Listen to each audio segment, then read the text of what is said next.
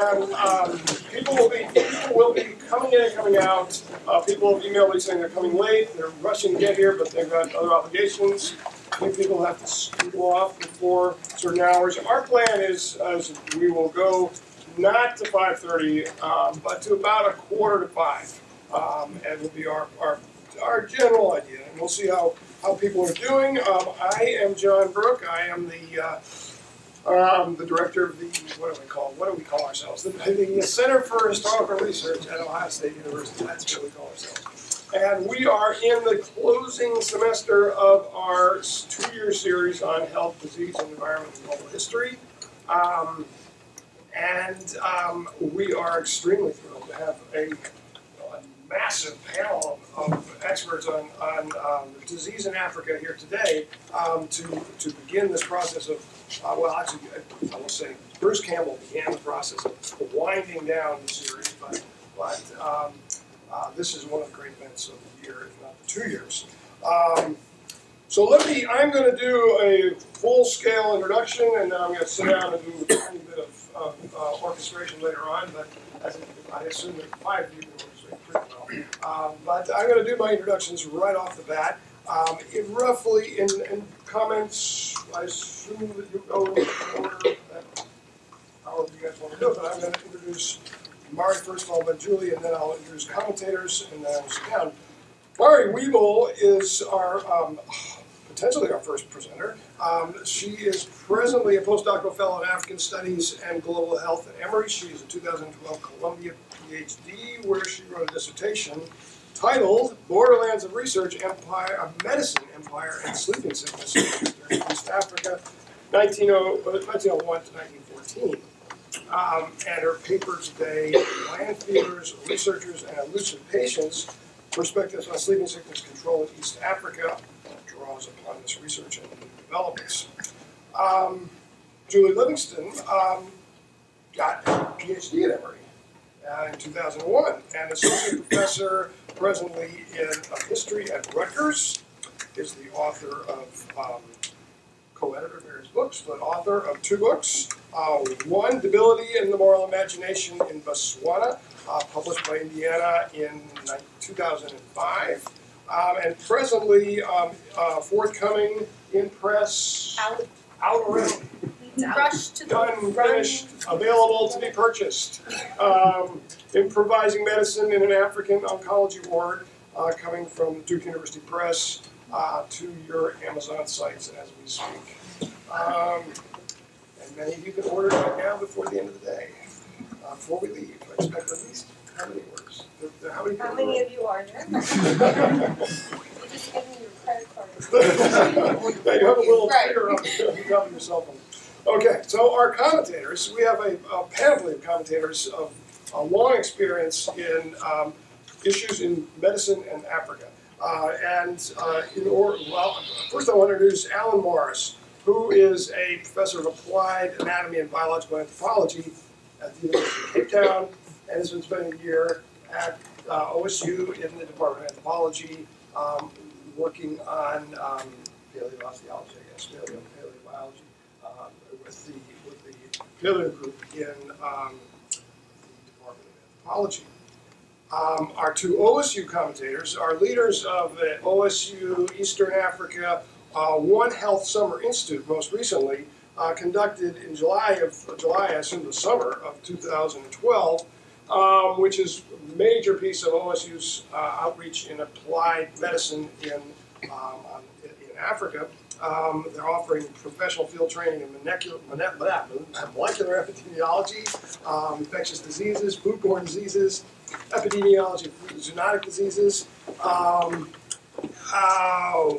the question of, of animal uh, human vectors, which was a huge problem uh, worked out worked on by um, uh, by Bruce Campbell in his talk on the Black Death about um, now it feels like about two years ago, but it was actually only about five weeks ago.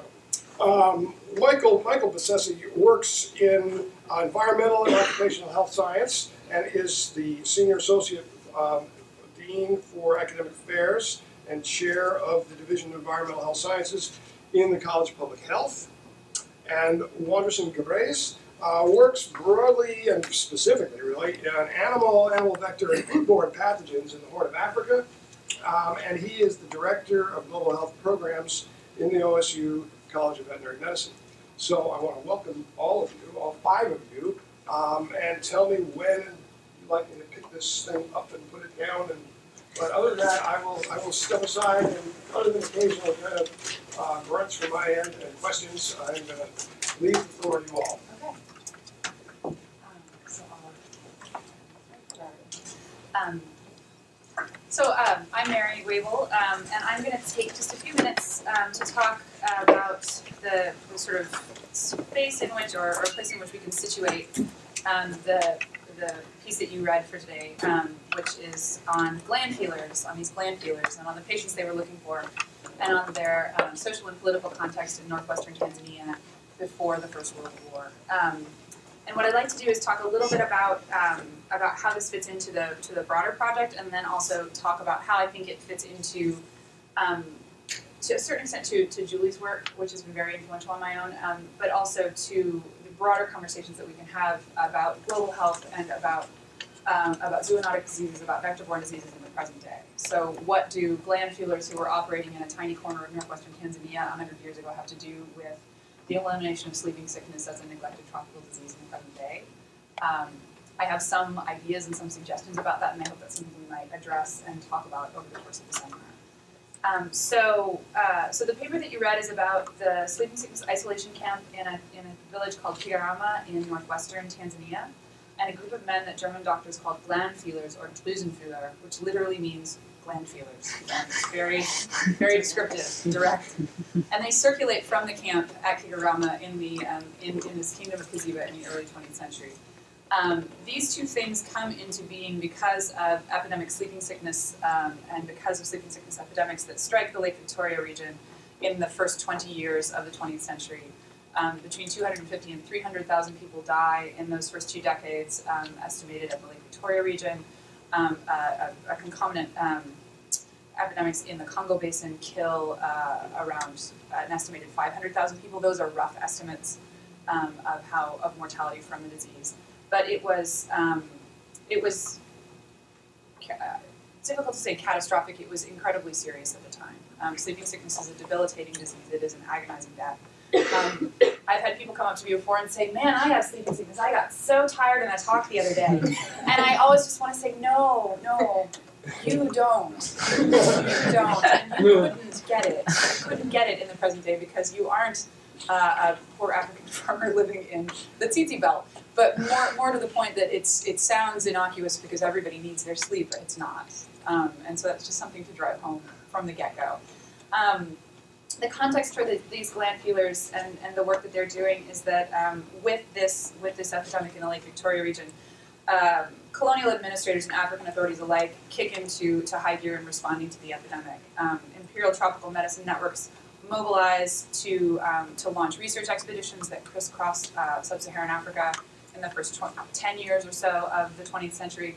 And, um, and African kings and, and healers and, and a variety of people within the affected areas also kick into gear, sometimes reaching out to missionary clinics, sometimes reaching out and working with, um, with colonial authorities, and in other ways uh, coping with this, this disruption to politics and society in, in, in their own ways.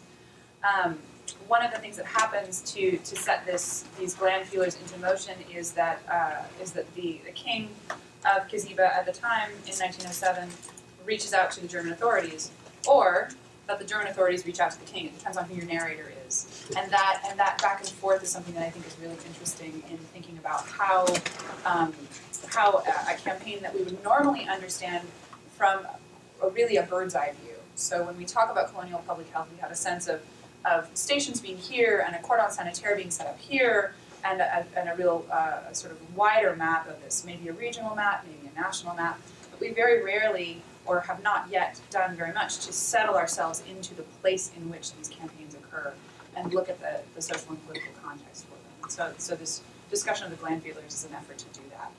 Um, and to look at why exactly, what kind of stakes are involved in people um, participating in um, taking advantage of colonial biomedicine, um, how exactly auxiliaries are looped into these these new um, public health structures, how they become new kinds of colonial functionaries. Um, and the stories of these gland feelers and their sought-after charges is is one where we see colonial authority stretching into new areas and asserting new claims to control and to surveil and to heal. Um, it's a situation where we see new geographies of power and healing layered onto pre-existing ones that still have uh, a strong relevance for people who are living in a kingdom like Kiziba. Um, and not to take up too too much time, I'll talk a little bit about sort of where this fits in for me into um, where this where I think this research can, can take us um, presently. Um, and and for my part, I think a lot about sleeping sicknesses as an NTD. Um, these neglected tropical diseases have been identified um, and selected and marked for elimination or eradication by 2015 or 2020. Um, it's uh, there's an incredible amount of energy going into this um, right now. Uh, I've when I started to hear about the, the NTD push and, and, and was reading some of the primary source documents that are that were created within the last year, I thought I must have missed something.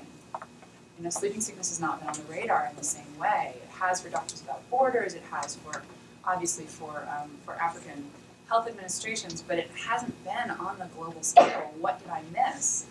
And the answer is that I didn't actually miss anything. It's happening as we speak. Um, and there's been an incredible acceleration of attention to NTDs in the last couple of years that is much more programmatic and, um, and goal driven than I think it was in years past. So, um, so this history of gland feelers and thinking about gland feelers and public health in Kiziba gives us some history for recent recent developments in humanitarian aid and global health. Um, a context for thinking about um, thinking about uh, community participation, what exactly community participation means and how it functions. Um, how do large-scale programs look from the perspective of the people who are their subjects, rather than from NGOs or from a national health administration or a regional regional health service. Um, and they, I think it also provides a context for thinking about about partnership. If we know that that successful public health depends on community participation and buy-in. This is the way that, that a lot of programs are being structured right now. How exactly does that buy-in happen? Um, and, and how does it happen in ways that might be unexpected? And what are the social and political consequences of it? Um, and, and how can those be much longer running than, uh, than might have been intended? Um, I also want to, to flag that I think that, that thinking about uh, sleeping sickness in the Lake Victoria region, um, as opposed to thinking about only a Tanzanian history of sleeping sickness, um, does a lot of work to, to retain a sense of connectivity and mobility within that region that is lost when we are operating only at the level of the modern nation state, um, particularly in areas on borders like this one that I'm studying the history of. Um, the, the most relevant political capital is not Dar es Salaam, is not the coast of Tanzania, it's, it's Kampala, it's Uganda. And, um, and I think by, by looking at this epidemiological zone and this ecological zone, we can understand better historically um, who exactly the relevant players were for people living at the time. And then lastly, I think that um, I'm, I'm very excited about, um, about new directions in the history of medical research, and particularly medical research that's happening in, in East Africa. Julie's work is, is a big part of that. There's also really interesting work on, on the history of medical research in East Africa. Um, Tanzania and Kenya and Uganda are hotbeds of medical research. Um, and uh, and we are we are new histories are and new ethnographic studies and anthropology are being written about how exactly these processes are unfolding, what that encounter of research means in the provision of care, um, and also in um, in how people understand themselves to be subjects in different ways. And uh, and I think that other parts of my work speak more strongly to this than the gland feelers, but we can see how um, how exactly those dynamics have a much much earlier history than, than I think we would otherwise. So I'll leave it at that.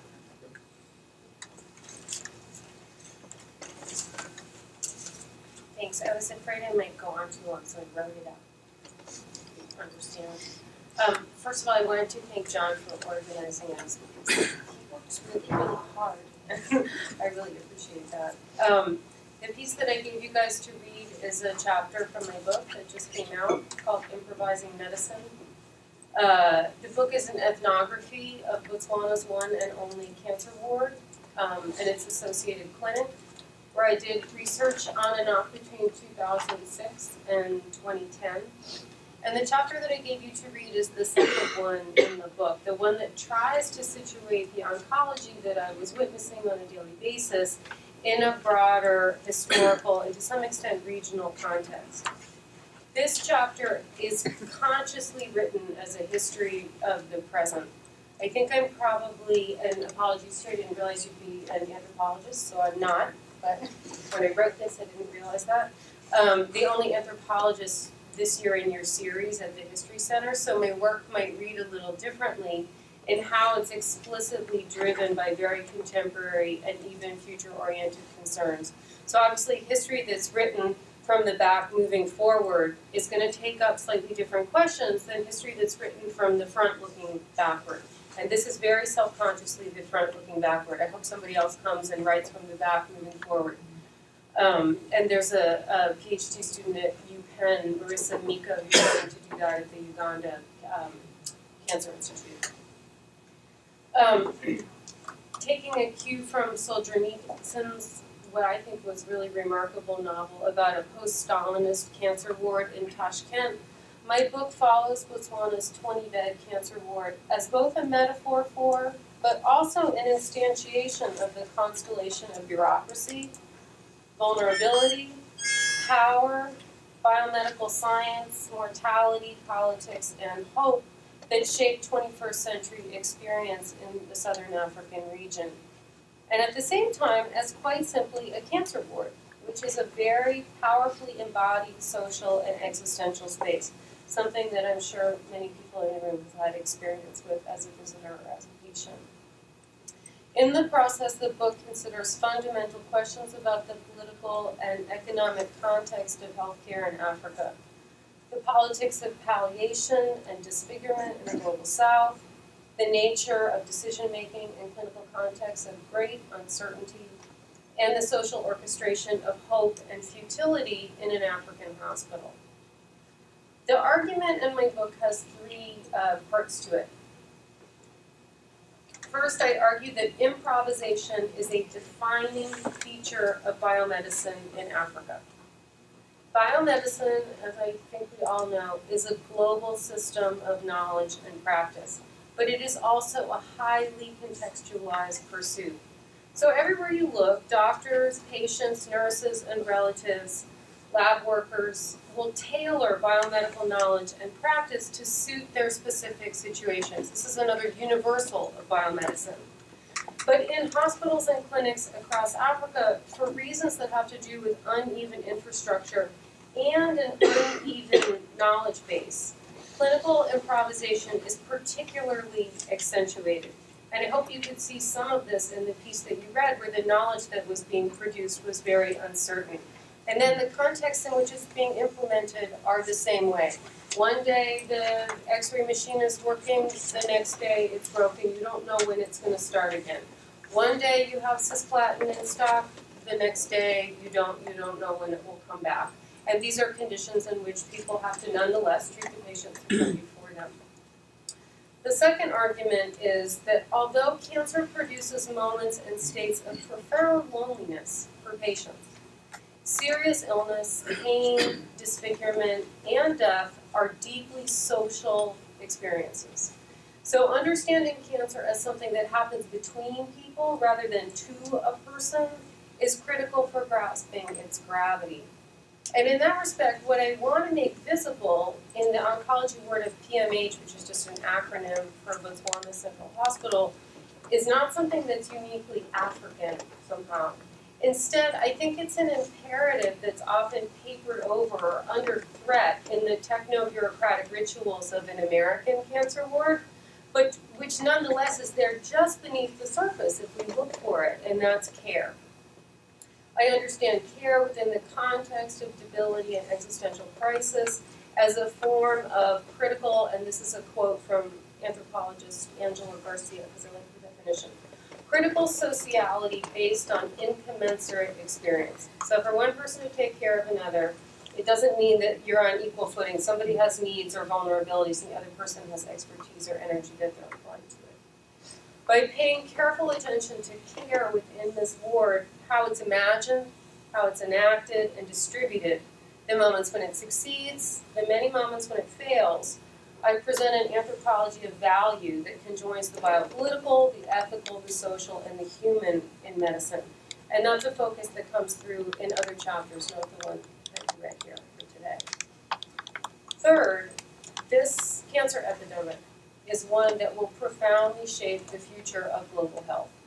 It raises fundamental policy, scientific, technological, and caregiving challenges for Africans and for the international community alike. Cancer, I argue, from my position in southern Africa, so this is to some extent regional, is a critical phase of African health after antiretrovirals. As such, cancer experiences in this ward expose the unfortunate fact that biomedicine is an incomplete solution. So biomedicine can be redemptive and exacerbate existing health inequalities at the same time.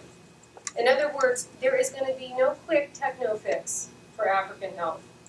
And yet, biomedicine functions as a necessary, vital, palliative institution in a historically unjust world. So you can't just be a therapeutic nihilist about it and throw it out the window because it's not going to fix everything. But one has to handle it in all of its complexity and ethical questions that it raises. In order to explain what I mean, I just want to orient you very briefly to the broader context. I'm not sure who in this room is a health person, who's a historian, who knows about Africa, so I'm going to give you a bit of background and apologize, apologies to anyone who knows all of what I'm going to tell you. Um, Botswana is a middle income country in southern Africa. It has a population of about 2 million people, but it's the size of France. Sometimes it's called the African miracle. That's because while it was systematically and deeply impoverished by British colonialism after independence in 1966, Batswana, as citizens of Botswana are called, discovered vast diamond wealth in their country. Vast diamond wealth does not make you a success story. I think we all know that. So the success has to be attributed to Botswana and their um, political system, and they have developed and managed that well via a stable democracy steadily investing their diamond revenue in infrastructure and social services, including universal health care. That said, as you know if you read the paper, there are 2 million in Botswana in Botswana. There are estimated to be another 2 million people in Botswana right now, and they are Zimbabweans. And they have had to come to Botswana by and large as economic and political migrants who um, find their home country to be untenable right now. So again, when I say universal health care, there are people who are in and there are people who are out. Um, beginning in the mid 90s, Botswana was at the epicenter of the AIDS epidemic in southern Africa. So there was a lost decade, total existential angst and mourning. I lived in Botswana during um, some of those years, and there was a very widespread uh, experience of illness that kind of saturated every home and every workplace. In response to this, the Botswana government partnered with the Gates Foundation and Merck Pharmaceuticals, virus-associated cancer, one of the genital cancers, Kaposi sarcoma, a lymphoma, head and neck tumor, etc., as they become immunocompromised from the virus. Before they received antiretrovirals, those patients would have died of opportunistic infections, but perhaps with a cancer. Now they're surviving those infections to become a cancer patient anticipating this. The Botswana government knew this was coming. It's not a surprising thing. The Ministry of Health um, in 2001, remember the antiretroviral program starts at the beginning of 2002. So in late 2001, knowing that they're going to be producing a cancer epidemic of sorts, the Ministry of Health converted a small piece of PMH, the nation's central referral hospital in the national capital, Gaborone, to a cancer ward, the only such site in the country. As the ward opens and it's clinic, you start to get patients with HIV-associated cancers who come in. But at the same time, now that you have oncology services, their existence begins to reveal the substantial burden of other cancers. Women with breast cancer, men with prostate cancer, kids with osteogenic sarcoma, people with leukemia, etc., who've been there all along but previously went undiagnosed because there was no oncology capacity in the country. So if you put those two groups together, you suddenly have the situation of overwhelming proportions. And I'm afraid it is not only in Botswana. Across Africa, in fact, throughout the global south, there is a cancer epidemic that is emerging rapidly. Currently, more than half of all new cancer cases and two-thirds of all cancer deaths occur in the global south. And epidemiologists predict that this tide is going to rise very rapidly uh, for some of the reasons I hope you can um, understand based on the chapter that you read. I just anecdotally can see that rising tide from my tiny little perch in this 20 bed oncology ward in Botswana. So, having worked there over the course of four years, every year the pressure on bed space would intensify and the queue of um, patients at the clinic would grow longer. So my book looks at Botswana as a best case scenario of sorts to try to imagine what kinds of questions this new epidemic raises. While at the same time, I look to Botswana's oncology ward to resituate some of the master narratives of cancer in this country and in the global north more broadly.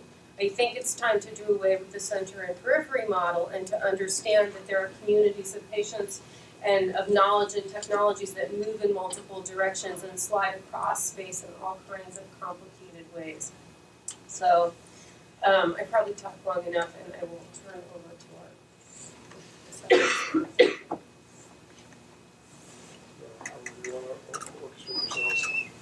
Thanks very much, ladies. Uh, Before I start anything, I want to say that I read the both, uh, both papers and thoroughly enjoyed them, an excellent job. I'm not going to be critical because I'm a gentleman. I'm not going to be critical because I can't find anything to be seriously critical about. Uh, they're both really excellent papers. What I would like to do is, is perhaps introduce uh, a viewpoint from my side, which is slightly different. Um, Julie, just to, to warn you, uh, yes, indeed, I'm an anthropologist of sorts, but I'm a specialist in dead people. So that makes life easier for you. but um, uh, what I am is, in fact, I'm a professor in a medical school in South Africa. And I see this, even though I'm not a clinician, and I'm, I'm dealing with dead patients rather than living ones. Uh, I do work with my colleagues and hear the problems and see the issues, and particularly I'm engaged whether I like it or not, I'm engaged with medical education. So we're seeing issues about how do we train doctors, or what are the problems, uh, where, what are we going to, and we have recently, in 2002, gone through a complete transformation in how medical students are trained in South Africa. It's a so-called new curriculum style, uh, another seminar, we'll talk about it then. But what is interesting is that South Africa remains an anomaly. Uh, South Africans like to refer to themselves as a first world and third world country combined. Uh, and of course, it has its own distinctive history, which you bring about, Julie talks about briefly in the paper. But what it does is it gives me a viewpoint which is slightly different from the experience that both of you had in Tanzania and in Botswana, uh, yet connecting in many ways. Um, Mari, uh, Mary, I, I've read your paper and, and it struck me that the, the, the two things that came up and, and hit me, it's a historical paper. Uh, of course, so if we we're valuing that into modern times, we have to we have to that, that's a valid judgment how, how you do that. But what did strike me was two things. Um, was one something that fascinated me about medical doctors in the German world and probably the European world at the turn of the 20th century was the fact that, that they were prepared to push through failed treatments that they knew were not working. And as a scientist, that fascinates me because I'm absolutely bowled over when I discover scientists who do things that we're trained not to do. We're told to be good, we're told to be observers. The medical curriculum we've set up in Cape Town, which is based on a world, a world scale medical treatment, is of course evidence based medicine. We're supposed to only make decisions when we have evidence that shows that what decisions we're going to do are going to be valuable. And of course, now we're coming into a very serious problem with scientific snobbery. Scientists do, and as one I will admit it, do think that they are better than other people. They have a, a knowledge that they are going to give out. Um, and I'll tell you a sh- short story about UCT in a moment about that. But the other issue was um, the fact that who is chosen to aid from the community, this linkage, this the nature of community participation has such a major impact. And you brought it out very powerfully about the issues that who these gland feelers were, the context they came from, had implications for how medicine was laid out. And, and I think that's a central issue, and it's still going on.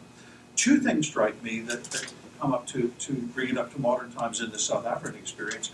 One, um, about the arrogance of scientists. In 1992, the Kellogg Corporation of the United States uh, waived a huge, immense grant um, to South Africans for primary health care to all the medical schools and said, make application, and if your application is good, we'll give you the money. And the team from the University of Cape Town, which was out of the primary health care department there, they thought this was, I think, what Americans call a slam dunk.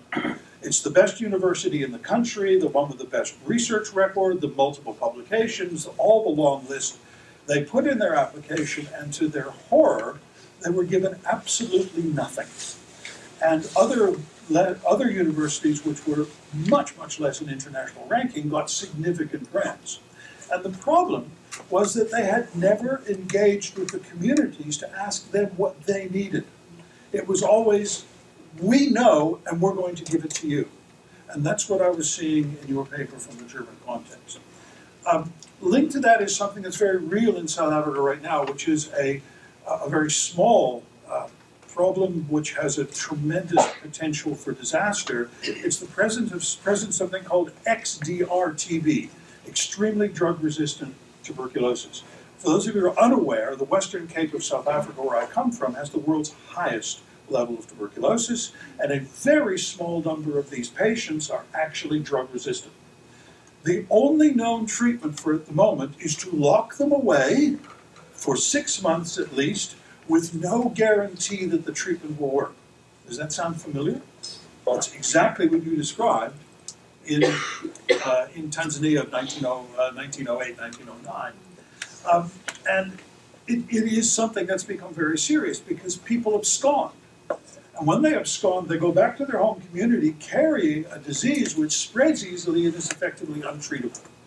And uh, the Cape Town newspapers on occasion come up with this is a major issue that concerns many people, and very few people understand the context and the problems linked to it. So it's something that's very real to me. If I could, hopefully not use too much time, but move towards Julie's paper, because it was not historical. It was, in fact, current. And in many ways, in many ways, uh, Mari, Mari gives me a, a, strong feeling that we can look historically and see what we did wrong and then try and fix it in the future. When I look at Julie's paper, I get frightened because it's ongoing right now. Um, and essentially, the two, two issues that I picked up were the invisibility of cancer, um, caused, and this is my word, by the juggernaut of Western biomedicine. I like that. That's a UCT phrase. Um, but really, it's, it's, it's part of this idea of a first world disease which shouldn't be there, but in fact is. I thought was a very critical point. And secondly, was the other issue, which is the competition for resources. And that is very real. That's something I see on a daily basis at UCT Medical School. Um, interestingly enough, this anomaly of South Africa, although you mentioned you suggest the, the inadequate treatment during the years of apartheid, the strange thing was that during the years of apartheid, the full treatment was available to all people, but the scaling was wrong. Basically, what it was is it was you had to be urban, and it didn't matter if you were black or white, but you had to be urban and you had to be accessible to the hospital. What that boiled down to was the fact that the majority of whites could access cancer treatment, the vast majority of blacks could not. And I went, a colleague of mine that I worked with was in fact a radiation oncologist at a state hospital in Bloemfontein during the years of apartheid, and I dropped him a note when I read your paper. And I'm just going to read you very quickly what he said in his letter back to me. He says, in my opinion, African patients in our unit of Bloemfontein were treated medically as well as any other patients with the same options and dedication. However, the workload for each consultant was nearly 10 times greater than Groote Hospital, which was in Cape Town. Uh, what was available was available to all. However, the circumstances for patients who came from afar, Lesotho and elsewhere in South Africa, was a problem because of the need to be a long way from home for protracted periods, and this was an issue regardless of race.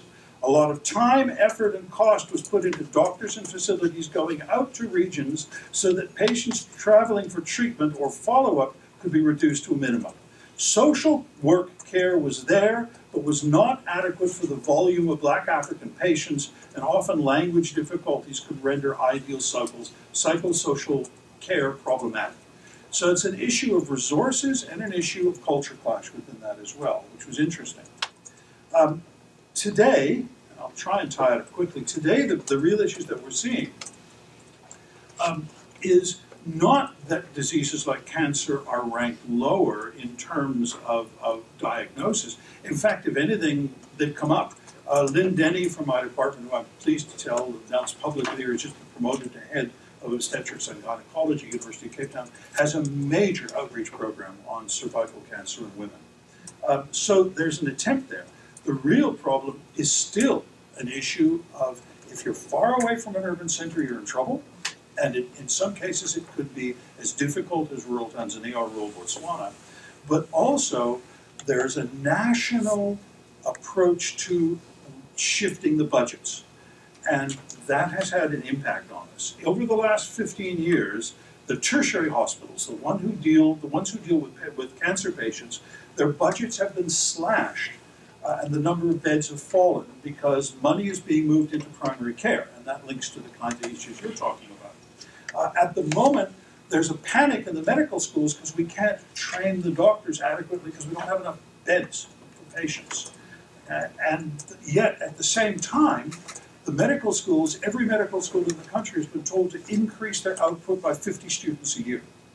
Uh, and they're giving us no further, uh, no further funding. So in other words, we have to somehow or other increase our, uh, our 200 student intake in first year to 250 students, and this is because we're going to be we're going to be putting out a new national health system. So this is a very real problem for us. In a sense, just to, to cap up the end, Dr. Webel's paper actually made me feel very good because I thought, well, if we understand the past, we can learn from mistakes and try not to make them again in the future. Uh, but I must feel that Dr. Livingston's page, uh, paper frightened the daylights out of me because it's something that I can see happening and I don't know how to fix it. Thank you very much. Uh, again, thank you, John, for uh, inviting me. I thoroughly enjoyed those manuscripts, Mari, as well as uh, Julie. Uh, definitely wonderful, contemporary Do you want to move around here so we can Oh, project this back? Yeah. Okay, I can take this down or leave it up, whichever you like. that's fine. Okay, yeah, there's a larger audience. All those people way in the back. Very good. So uh, I thoroughly enjoyed the both manuscripts. Uh, definitely great contemporary history as well as our you know, most essential all in terms of uh, uh, sleeping sickness history from uh, Just briefly, let me give you a little bit of background, just relevant background from what I reviewed. I myself I was born and raised. I'm a native of Ethiopia, a naturalized citizen of United States. Moved here about 18 years ago from Ethiopia as a veterinarian, as John introduces nicely, I'm a veterinarian by uh, profession. I practiced in Ethiopia for about five years, early 90s. Um, and uh, uh, before I moved, uh, really the major challenges I've been tackling in uh, mainly big pastoral or nomadic area of southern Ethiopia is trypanosomiasis just sleeping sickness in terms of humans, but lots of varieties of trypanosomiasis. In fact, one of the main reasons I came to US was with one goal of discovering vaccines against trypanosomiasis. It's a major, major challenge. It sounds very much history. When you read it, you think like it has already gone. It's a reality. We neglected it. So what we neglected it doesn't mean that it's not there. Not only trypanosomiasis, but all the other neglected tropical diseases are still common, some of them are really going up, in fact, with all the other cofactors and multifactorial things that were reviewed uh, in both manuscripts. So I ended up in the US working on foodborne pathogens, antibiotic resistance. Often these diseases are considered as rich man's problems. But still, you know, when I go to Brazil, even in some places, or Africa, you know, when I mention antibiotic resistance, people still consider them as luxuries, as related as in, know, it's all relative, relative to other highly severe diseases such as you know, those reviewed here. In fact, in Julie's, a number of them have been reviewed there. So, um, uh, just let me pass on to my uh, my comments. You know, in general, both manuscripts were great, but let me start with uh, with Mari's and give it a little bit of context. Really, the manuscript definitely outlines uh, not only just in terms of public health system in the early 20th century, but how much public health system or lack thereof, or what you do to control a single disease can have a major impact socially, economically, politically, in governance and other things.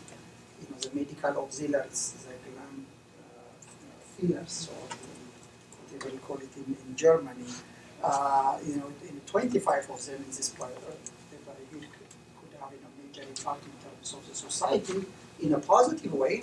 You know, detecting this disease uh, really is interesting. You know how, how much we went since since the last in the last uh, 10 decades, however in a positive way, but also in a negative way. When you do things, you know, the, the most take-home message I learned from them is that unless you build the trust, you you're trying to solve a problem it's a disease a problem. Usually, you know, the population will be very happy uh, when someone comes from Germany to solve the problem, but the way it was handled at the time was uh, very uh, much in a mistrustful way.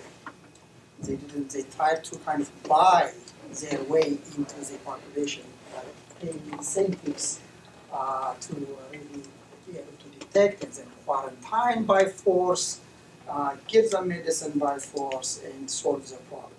And at the end of the day, it was a failure.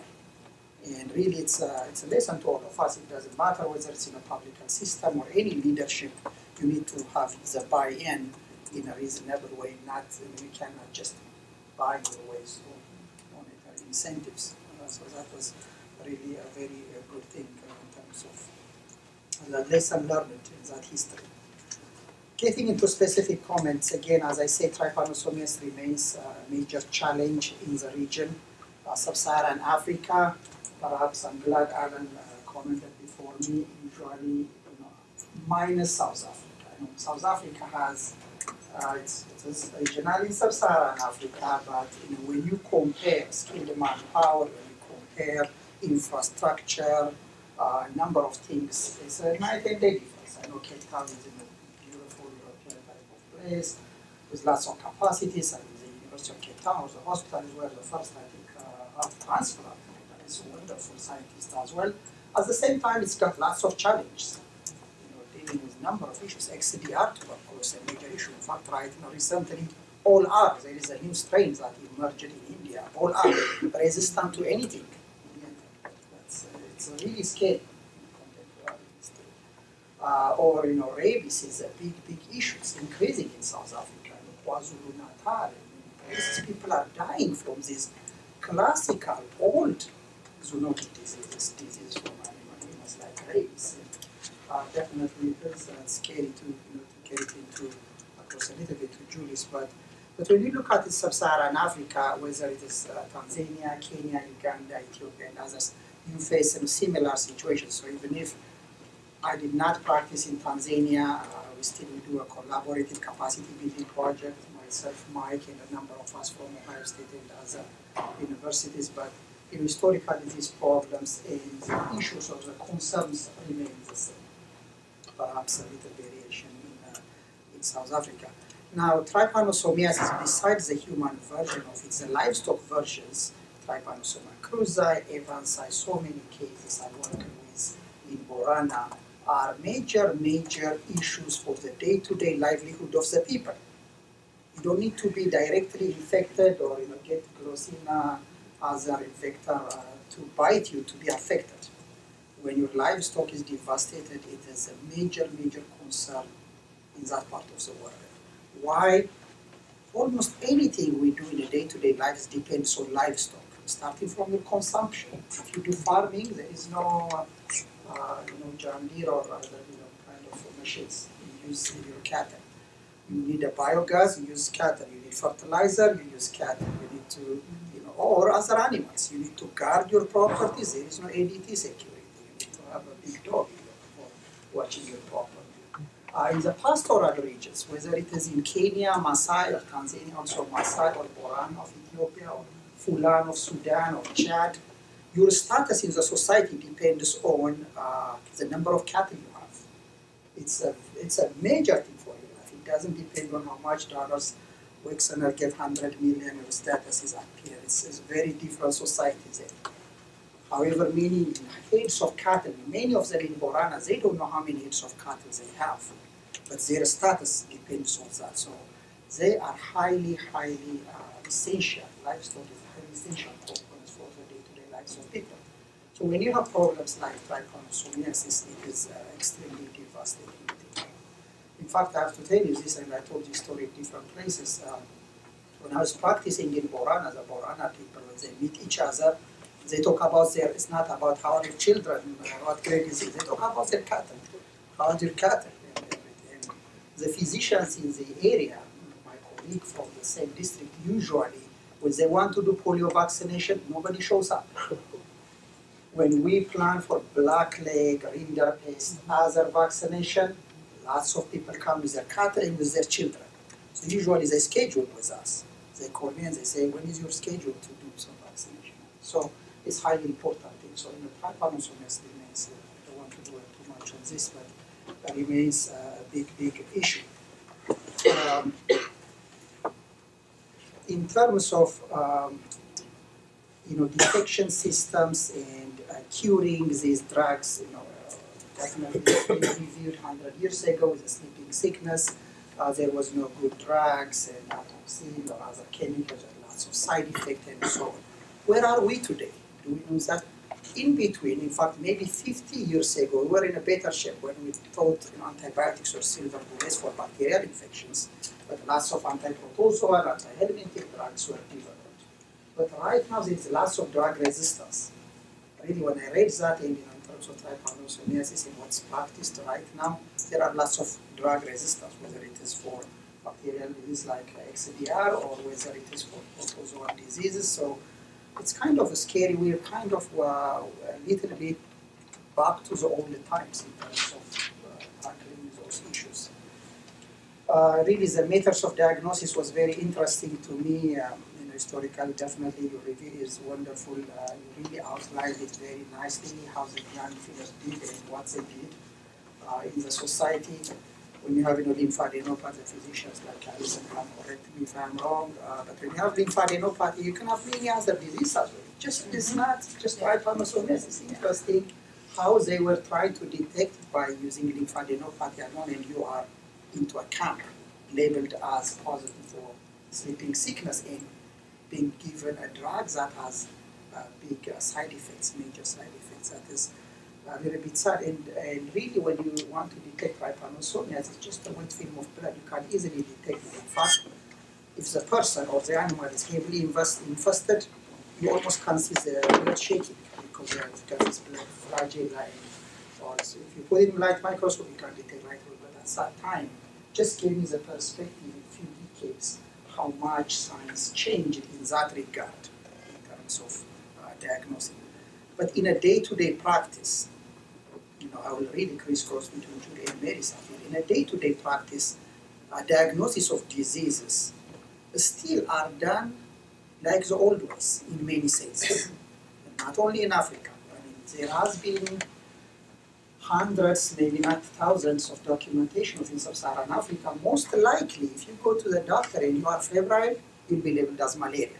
Still, right now, if it is malaria in any country, it's malaria. Do you have vomiting, diarrhea? Oh, it's typhoid. Okay. So when I come to the Western world, I thought you'd get you know, highly sophisticated machine, everything specifically diagnosed. But when I go to my family physician, I'm sneezing and other things. I got at least a couple of times, and you know, ciprofloxacin. Take it and take six cipro. and still do it here. So it's not only Africa or other developing countries. Lots of, you know, we have lots of tools, we have lots of means, but still uh, there is some similarities in terms of practice. But that was a very interesting thing for me uh, to, to appreciate. I will take too much time. Uh, if you give me the floor, sometimes I, I get carried away about this issue, but uh, you can stop me, John, if I'm talking too much. Um, passing into Julie's paper, maybe focusing on that. It's definitely contemporary history. Uh, really, currently, what is uh, going on is definitely I really thoroughly enjoyed it. Uh, capacity building the lack of skilled manpower, the lack of infrastructure, lack of skilled manpower. There's a couple of instances uh, that Julie showed us in her chapter where, uh, you know, just 10 years ago or still, you may have a country where there is only one oncologist per 10 million population. Uh, that's a very common practice. Recently, myself and John, uh, Mike were, uh, as well as many of us were in Ethiopia, and the uh, largest hospital, the, the uh, tertiary medical center, which is also a teaching hospital in the nation, just know, one, one functioning radiotherapy machine and a couple of oncologists. Okay, and in many cases, even if you have the oncologist, you may not have a working machine. And uh, lots of things outlined. There are very common instances. In fact, the oncologist, what he told us is, in many cases, people come, let's say, with cervical cancer at advanced stage, and the wait, the queue to be, you know, uh, to get radiotherapy takes six, seven, eight months. He says that it's like a day's penalty. Every day, he said, uh, whenever he sees patients, he feels sad that it's like putting a day's penalty. Come back after seven months, he said most likely that person will not come back. So uh, that is really a current reality. As compared to again coming back to the Western world, uh, when I had visitors from Africa, from different countries, but last year in fact, showing them our veterinary college, how it's practiced, and we're walking to the equine unit, even some of may not know, but our surgical theaters, CT scan, they couldn't believe it. And the president of one of the universities gave us its uh, amazing comment how, you know, life, the discrepancy of life between the Western world and Africa. It's uh, sub-Saharan Africa particularly, but also Latin America and some part of Asia. Uh, definitely. So the lack of infrastructure, the lack of capacity building remains uh, a big issue. How we do it is another another key thing in both papers. It really is outlined to some extent, including with Mari's, but as I said, in terms of building trust, are we doing it in a mutually beneficial way with equal partnership, or are we doing it, okay, I write a grant at NIH, I get this, I go to Africa, you have to do it this way. Uh, that system is not sustainable, it's not mutually beneficial, it's not appreciated. Uh, tell you that. Um, again, just a few months ago in Arusha, when we had a workshop, there were nice comments given during that workshop, and again, you were there. You know, don't be somebody's field site. That attitude, which I totally agree. You know, if you have to do it, listen. Let's listen to each other. What is your priority? What is my priority? How can we partner? You know, uh, scientists in Africa are very much capable, as capable as all of us but just provide it. It gives them the instrument, it gives them the, the, uh, the tools and the resources. Everybody's capable. Uh, but you know, I really appreciate that comment in that don't be somebody's field site. There are many universities from the US and going there and I want to do this. Tobacco and lung cancer, period. Not I don't listen to yours. Uh, so uh, whenever we do this capacity building, it needs to be in a mutually understandable way, building our trust that remains the same. Again, poverty is rampant, it's clear. Economically, most countries are very poor. Those are doing relatively better, uh, not as Botswana is a relatively much bigger country, but still you know, there are a number of uh, issues addressed. And the number of infectious diseases as well as cancer, as really Julie alluded, are related to poverty. In fact, a few years ago, I don't know if how many of you remember or know, at the AIDS World Conference, uh, the South African President Thabo Mbeki said that HIV does not cause AIDS, poverty causes AIDS.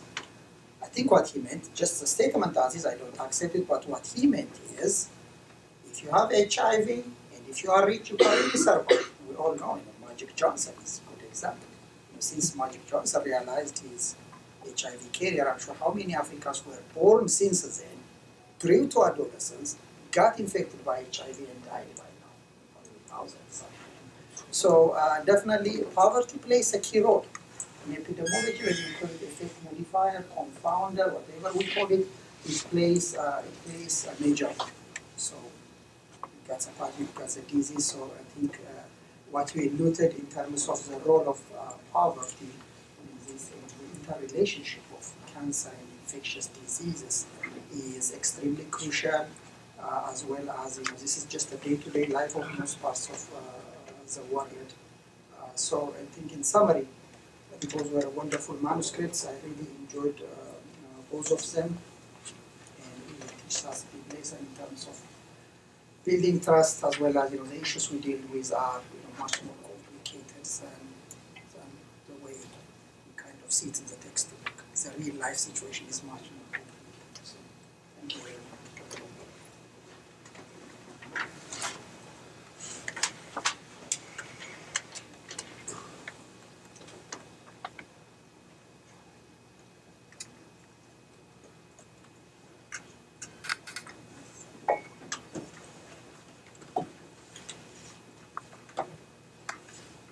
So let me check to see if I added a slide.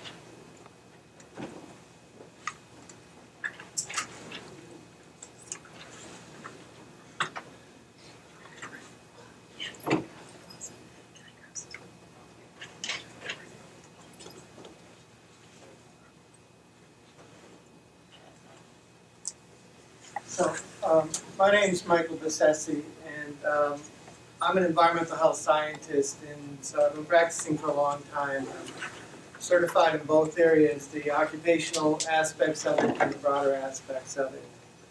And um, I appreciate John's comment. I'm uh, certainly an expert in environmental health science, I'll accept that.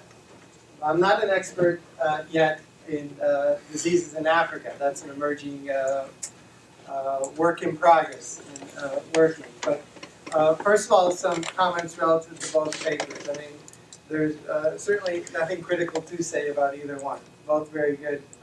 And um, so the approach I'm taking relative to my comments is looking at both of those papers and the topics and the themes and applying the environmental health paradigm or just some components of it. We- It would be a couple years to spend all the time to do it. Um, uh, to this. So, um, my current involvement uh, relative to Africa has been with Wondwossen relative to a NIH Fogarty grant focusing primarily on food safety and security in several East African countries, and um, also uh, facilitating the expanded integration of environmental health science as part of this overarching goal of a One Health approach to address uh, disease uh, prevention, but also identification and so forth um, in, um, in Africa, specifically focusing on Ethiopia, hopefully with success there, building models that would be applicable elsewhere.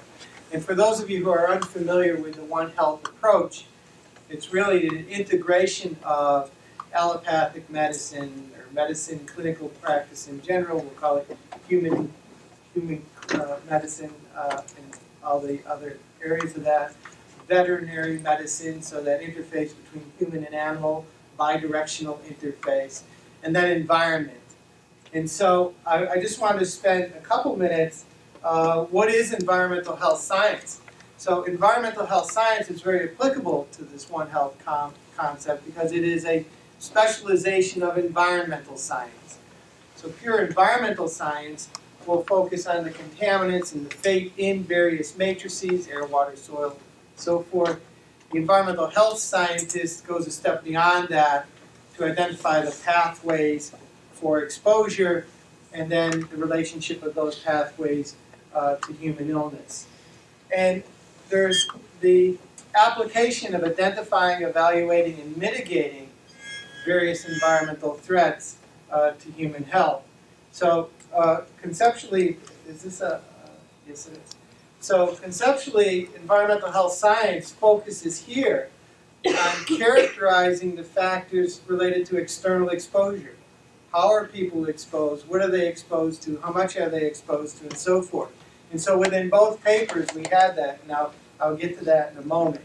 And then the interaction with, with the, from the clinical side is looking at biomarkers or effects and so forth. So the manifestation of disease or markers of exposure or markers of uh, the emergence of disease and trying to prevent ultimate uh, impacts. And there's various categories. The One Health approach is you can add to this diagram animals at each step. and apply the same principles, and that's one of the areas we're working on. So the, the application, identification of the issue, it includes anticipation, right? And sometimes anticipation uh, is synonymous with expectations. I heard the comment of cancers were going undiagnosed. Well, if you don't anticipate that cancer is even an issue, one of the paradigms that we get locked into when you look at the less developed countries is that infectious disease is the primary uh, area. And it may remain true primary, but not exclusive. And this is what's changing. And so gathering the data to let the data give you the answer, that's part of the environmental health science par paradigm, both collecting environmental samples as well as epidemiological data for human exposure and risk assessments. And then trying to scale up mechanisms for uh, mitigating the problem.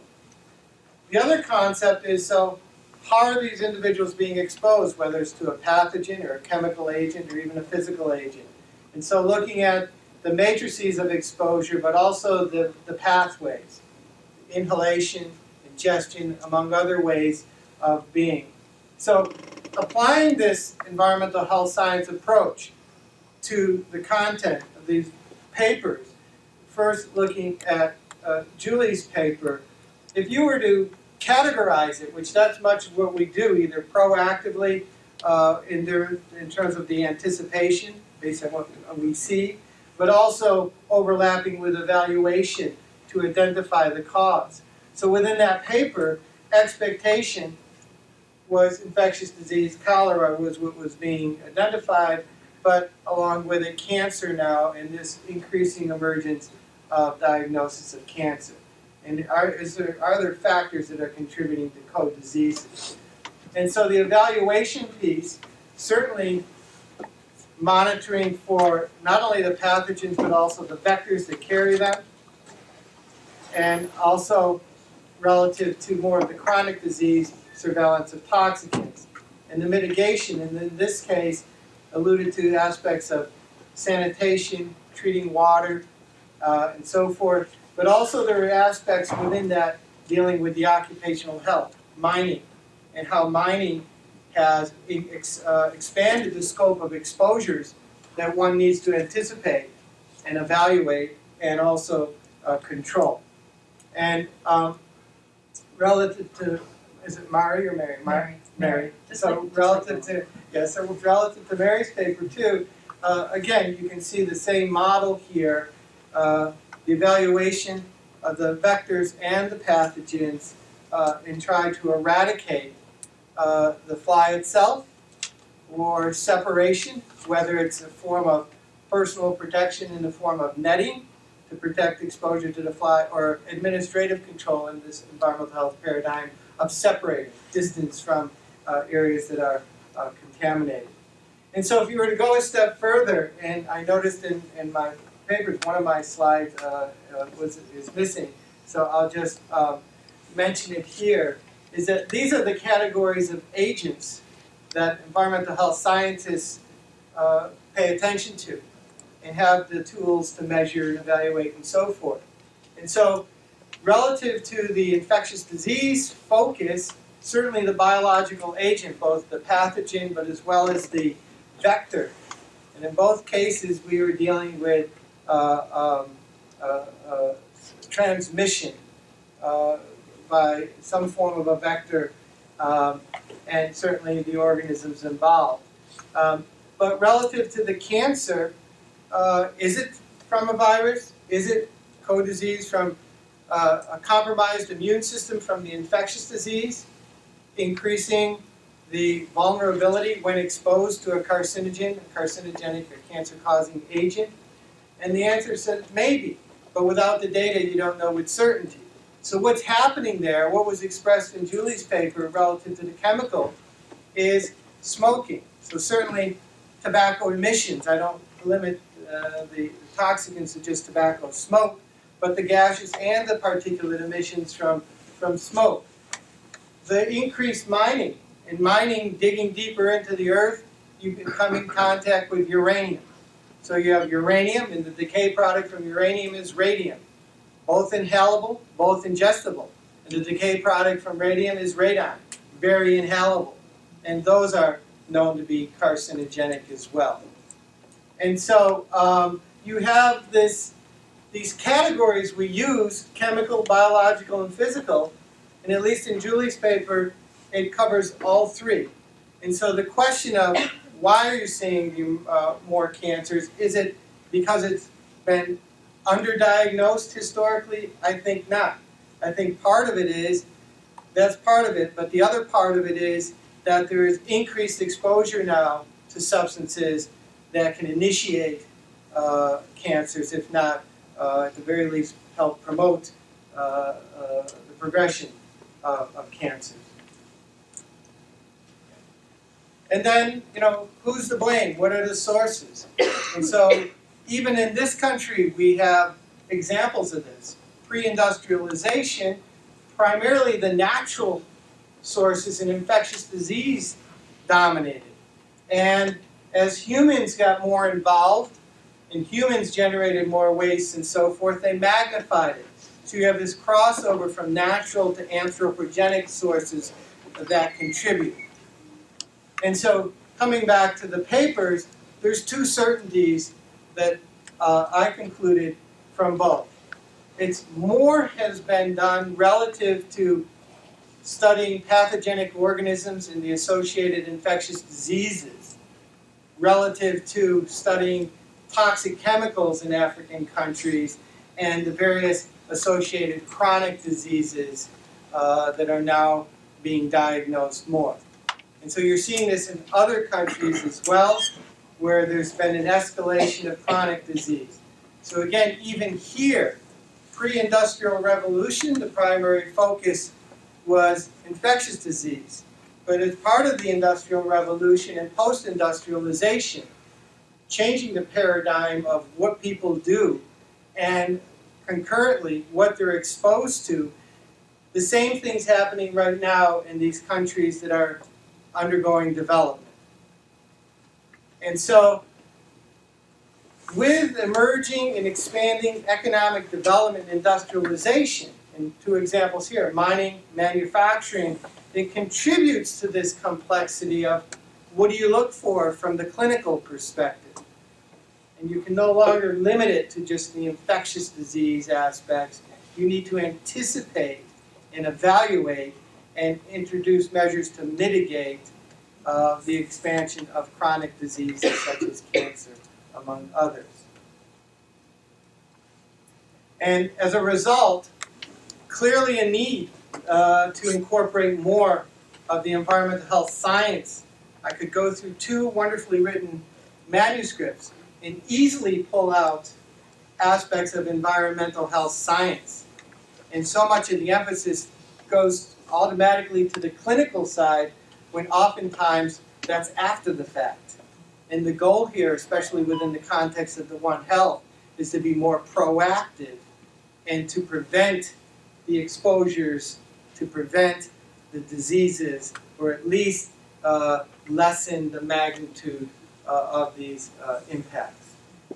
And so I'll also conclude that there's more to be gained by working within this One Health, this integrated One Health approach uh, to address these issues that, that remain here.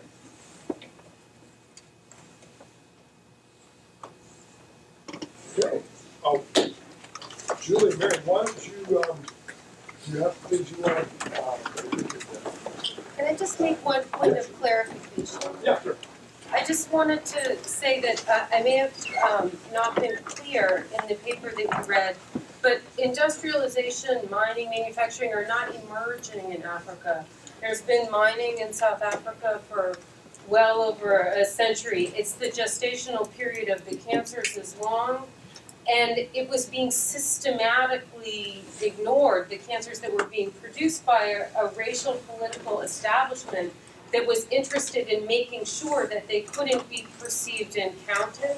So there may be, there are certainly emerging problems going on, but I, I think that we have some very long, I would hate to, to portray Africa as not having a, um, longstanding experience with industrialization, particularly um, the southern African region or, or various uh, other regions of it. I think that that would be a, a misplacement of the um, good things you're doing by pointing out where environmental health science has a role to play. The question is, why was environmental health science being purposefully excluded and doctored? And that gets us right to politics, economics, you know, That these other kinds here, of questions. too.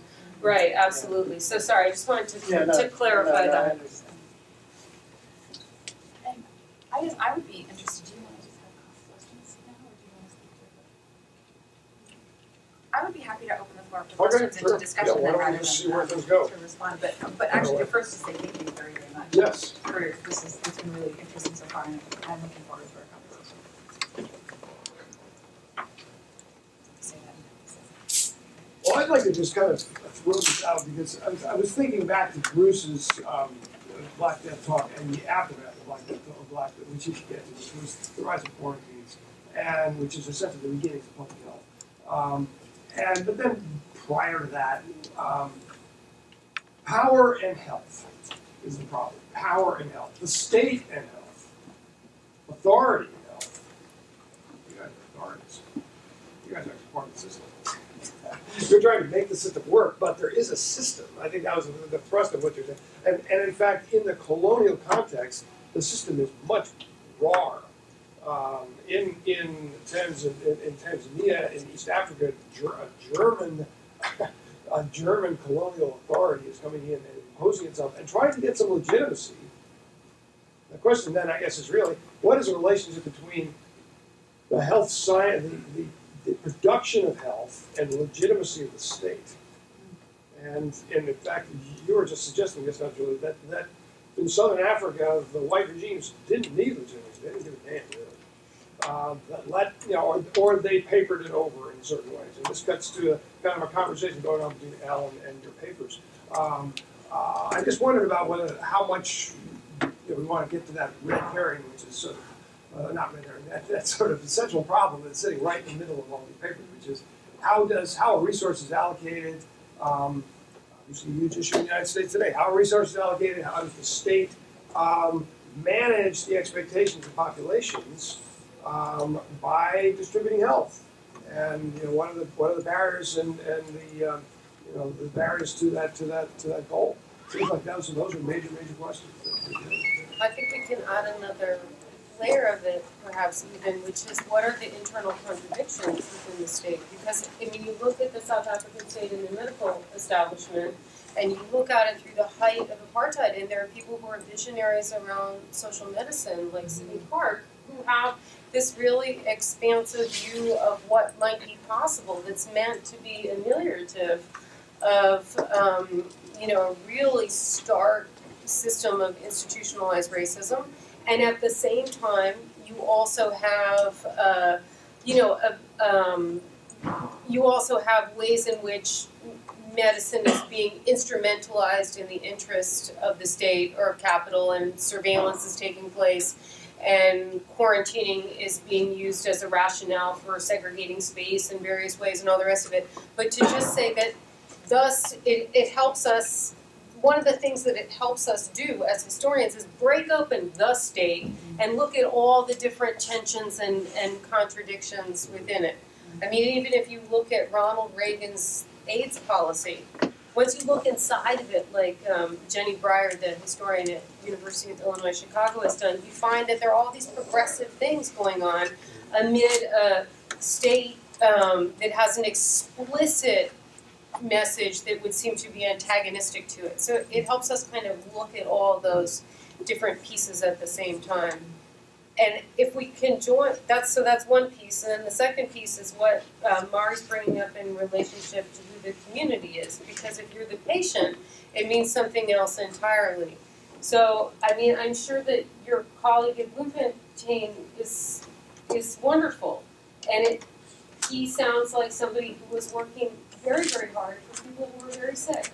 But nonetheless, when that patient is there, they feel power and their freedom to express what's going on with them, how they perform as a patient, the way that they feel uh, privileged to ask a question or not, how they interpret what's happening to their body may have something to do with, with the culture clash, as you say, but I'm sure even more so has to do with real questions around authority, power. The hospital is a state institution, et cetera, et cetera. Just like I live in New York City, and if you're an undocumented uh, worker in the city, the way that you enter Bellevue Hospital is going to be different than if you go in there uh, as an American, uh, white middle class woman with your Blue Cross Blue Shield card.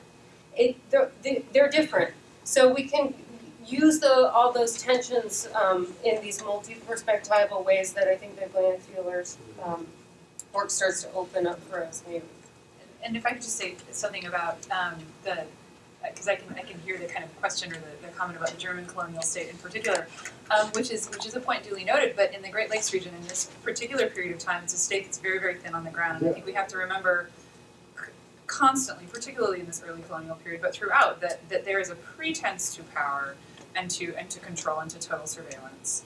Um, particularly when you're talking about public health, but that it is that, and I would argue that, that, that rarely is it complete.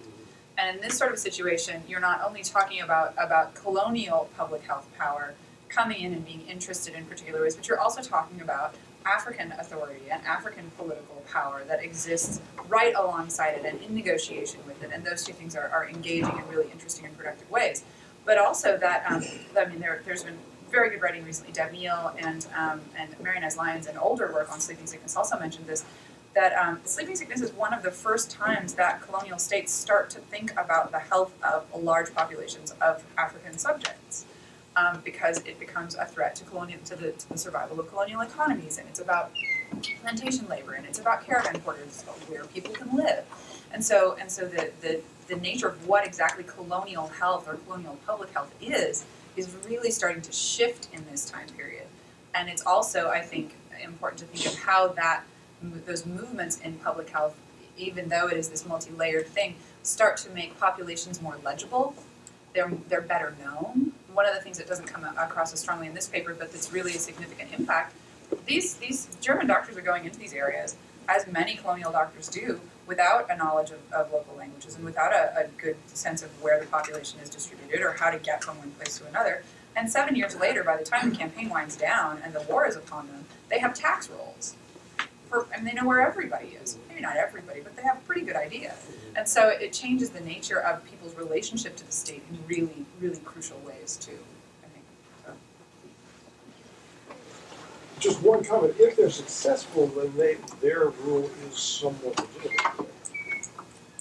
Well, that, I mean, that's the thing. I mean, just because just because you go, I mean, like if the if the if the sleeping sickness camp at Kigurama had been successful, if they'd been able to cure sleeping sickness, would it have somehow made the German state better or more or more positive in the eyes of the people that were?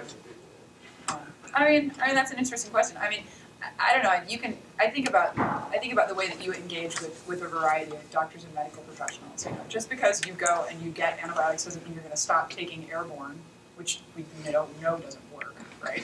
Or you're going to to sort of do your same. I mean, it's not to say that, that there's legitimacy in it.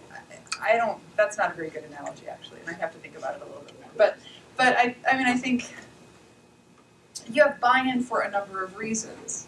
You know, people are getting cured, but they're also getting other things that they need. You know, if the state ceases to provide those other things that they need, will people withdraw? Perhaps. Will they try to go someplace else? Perhaps. Like, we'll start with Tony, then we'll go back here, yeah. I'm, I'm interested in the tension in both these papers between between visibility and invisibility, and then I think also legibility. Because in, in, in both cases, we see uh, there, there are phenomena that are out there that have not, they're trying to sense, that they're, they're, that the, the, the, the, you know, the um, entity, whether the state or the colonial state or the healers are trying to sense. So what, what is it, though, that produces invisibility? Is invisibility something that, that comes directly, is it, is it a product or is it a byproduct? I mean, what's, what's, how do we see, if cancer is invisible, what, what is, what is the, what, what drives to make it, what drives to make it invisible? And, and obviously it's not intentional, but how, how can we look at this process? Because in a way, I feel like in, in your paper, the, the bad guy really is invisibility. This, this, but how, if we want to then turn to face that, how, how do we do that? And how do we, how do we do that analytically as well to, to deconstruct invisibility? Um, and then I think in, in Mari's paper, this, this connection with, with the legibility of the state and, and the, the way that power flows through, through health interventions, through known resources. And I think uh, they both, but your particular your paper in particular for the health practitioners raises questions about who are our intermediaries, who are the people in place. I mean, the, the practice of global health has been field sites and making places field sites. Um, and so how, how, do, how does that power work and how does that, how does that change the data that comes out of these things, which, are, which social scientists are very interested in, but uh, you know, collaborations between medical people and social scientists often, you know, look at data in very different ways. And so I think it raises interesting questions for all practitioners on that. If I could just speak to the second, the second piece of it in terms of thinking about who your intermediaries are, there's um, an epidemiologist, uh, but who is also trained as an anthropologist um, in Atlanta. He's working with the Carter Center's river, blind, river blindness programs. His name is Moses Katabarwa, and he's uh, Ugandan and has been leading and helping with river blindness elimination in Uganda. And he's got these wonderful articles that are published in public health journals, but they're very anthropologically minded about community development. And I've had him come and talk to my classes a couple times, and we've talked about it too. And he says, you know, you can you can go in and say we want one good public health worker. We want one good person who's going to monitor this entire community. We're going to give them the supply of Mectizan. They're going to take care of giving it out, and it'll be great. He says, but then you think about, you know, you've got a family that's across town, and maybe this person that you've given all this power to has sort of bothered someone's daughter at some point, and they're not going to go over and take drugs from that guy. That's not going to happen. He said, and so we went in and said, okay, instead of just having one guy, what if we say, send us everybody you want? Send us as many people as you want. We'll train them. We'll see who ends up being the person who does that work in the end. But then you, you, you start to avoid and to work around those problems of who exactly that person is. Or you, you incorporate so many people that who that person is is, is, is manageable for everybody in the place. And it's been very interesting to hear you talk about how that's working now and is really different than I think the model of community participation, which is you know, which is an elite person or somebody somebody who's educated in a particular way that then can be the, the intermediary, be the authority. And there are ways of breaking that up, I think, that are promising and interesting. Um, to the question of visibility and invisibility, one of the things that I find interesting is how things get forgotten. So, you know, tuberculosis was a huge problem in southern Africa, and then it sounded invisible for a while, even though you could see it everywhere. Nobody cared, nobody counted, nobody whatever, and then because it got hooked onto HIV, all of a sudden it's the big thing to look at again, and then with MDR-TB and XDR-TB, you know, it's there's a bright light being shined upon it, and there, there, there. I'm sure it will get forgotten again and remembered again. Is I, I would assume. I'm not sure. That's what I would expect. And with cancer in Africa, you can see it very clearly, right? Right there in Brit- in European and American cancer journals, articles being published, cancers named after scientists discovering particular cancers in Central Africa, partnerships between American or British and African oncologists. When I read the missionary medical literature, there are cancer cases all over the place. And because I have friends who knew I was working on cancer, they would send them to me. So I have them from missionary medical stuff in Nigeria, even though that's not where I work. And when you go give a talk, people say, Well, I'm glad to hear you say that because I'm from Cameroon and my sister had cancer, and you think that, oh, Africans don't get cancer or whatever. It, things are visible and then they go invisible and then they become visible and then they go invisible.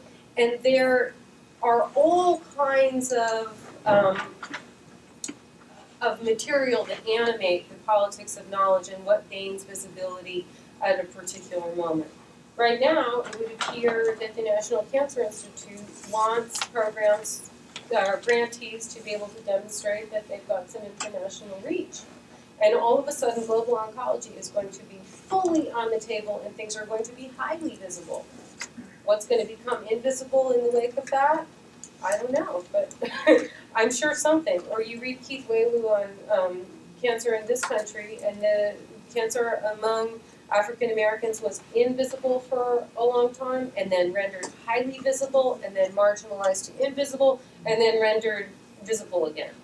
So there are questions we have to ask ourselves, first of all, about how scientists read, how far back they look, uh, which I find fascinating. As historians, you can see a, a loop of scientists rediscovering their old knowledge that scientists can't recognize because, of course, they look forward and they only read back in, in a very um, kind of narrower template and the terms change. So even if they do a little search, they can't see that they're looking back for this thing that we're trained to know how to see.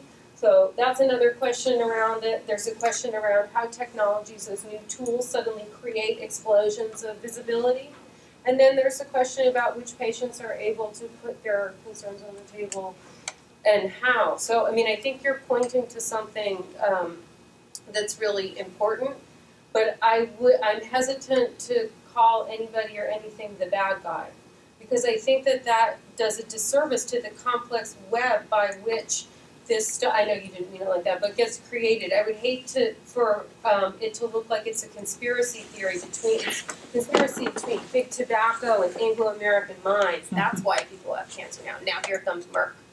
I mean, that's that's true. it's really true. But by the same token, there were all kinds of really smart uh, cancer scientists who thought, well, let's see, cancer equals white people black people aren't cancer's a disease of civilization. White people aren't uh, i mean black people aren't civilized enough to get cancer. Meanwhile you have no infrastructure on the ground to aggregate the cancers that those same doctors are or a different group of doctors are seeing. There is no cancer in africa. Hence this knowledge is correct. Uh, i mean it, I think it's important for us as historians to find those closed loops where they exist and try to examine how they get produced and what the effects are. That has effects for white, middle class American women like myself with cancer. I mean, that, that you have a whole set of knowledge that's being produced based on a false assumption about what it is and where it comes from. I think uh, you are absolutely right. Unless you look for it, it doesn't exist. As if it doesn't talk about it. It is there unless you look for it. But at the same time, I think it is clearly, uh, for some reason, there is increasing emerging. Oh yeah, absolutely, absolutely. Even in a young generation, Yes. not only besides the long gestational incubation period. Yes. Um, but I think linking it, uh, the cause and effect is, I think, maybe the challenge. Yes. causing it. Is it's- I think no, that's absolutely critical. I don't want to say it's only that now we can see it, and therefore it looks like it's emerging, but it's not. No, it's clearly emerging really rapidly. But if the answer is, and therefore we need uh, more chemotherapy, that's one important answer. But if we don't turn off the cigarette tap at the same time that we send chemotherapy, we're wrong. If we don't say it's not okay to dump nuclear waste on the Puntland coast of Somalia because there's no real state there to watch the coast, and that's a convenient place to send it, I don't care how much, uh, you know, cisplatin you can send there. That's not the way to, to solve that problem. So it all needs to be put together. And if you look at the logics by which environmental health policy was being determined by the World Bank, that this is the place you should dump your toxic waste because they don't get cancer, well, then you have to make it visible that they do get cancer. So you better find another place to put it or maybe produce less of it. I, I mean, you know, there are also uh, politics behind what's causing the emergence. So I'm afraid that sometimes global health goes running for the solution, but there are upstream factors that are kind of pumping out the jam at the same time. Yeah, question back here. Uh, you sort of got me upset about the healthcare system for minutes. I, I almost forgot the question, but um, if you are a nurse or a doctor in the ER room, you are just besieged. It's like a tidal wave coming at you. And you don't have time to think. You go with the odds. You see this person coming in, we've got to diagnose this, and we've got to get him through. Uh, I, nursing was a second career to me, and I doubt that anybody has ever worked as hard as a, a nurse on a 12 hour shift in a critical care hospital. You just do what you can to get through the day. So that's what the criticisms by non uh, healthcare workers upset me. Uh, but- but my question before that was in this country, uh, anytime you hear a politician talking about uh, uh, better education, I think here's somebody who's never worked with patients. If you go over to the hospital over here, all the obese people know they shouldn't be obese. They should eat more fruit and vegetables. The druggies know I shouldn't take drugs. People with HIV know, well, I shouldn't have unprotected sex when I was drunk. Uh, the smokers know they shouldn't, but they do it anyway. And they know these, so it's not an educational thing, maybe an addiction thing of some sort. But I wonder if your patients, and so I, education in, in this country, I, I don't have much hope for. But in your country, would the people over there be more compliant and more apt to listen to uh, a, a- medical authority if they did have the information, you know, you need malaria nets and you need vaccinations and so forth?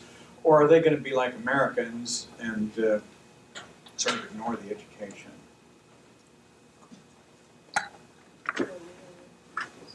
That's fine.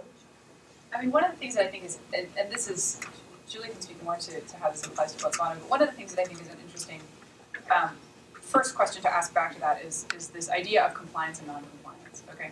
Because, um, because we, I think, assume that because people don't do what they are supposed to do, that they don't want to, or that they know and they've just chosen not to. And sometimes I think there are a whole host of factors, and I'm, and I'm speaking with sort of Paul Farmer um, and his work on, on compliance and non-compliance sort of out, out here, that um, there are a lot of factors that, that influence how and why people can make the choices that would allow them to be healthy, or if people can even make choices that would let them do the right thing to the medical establishment, to become compliant.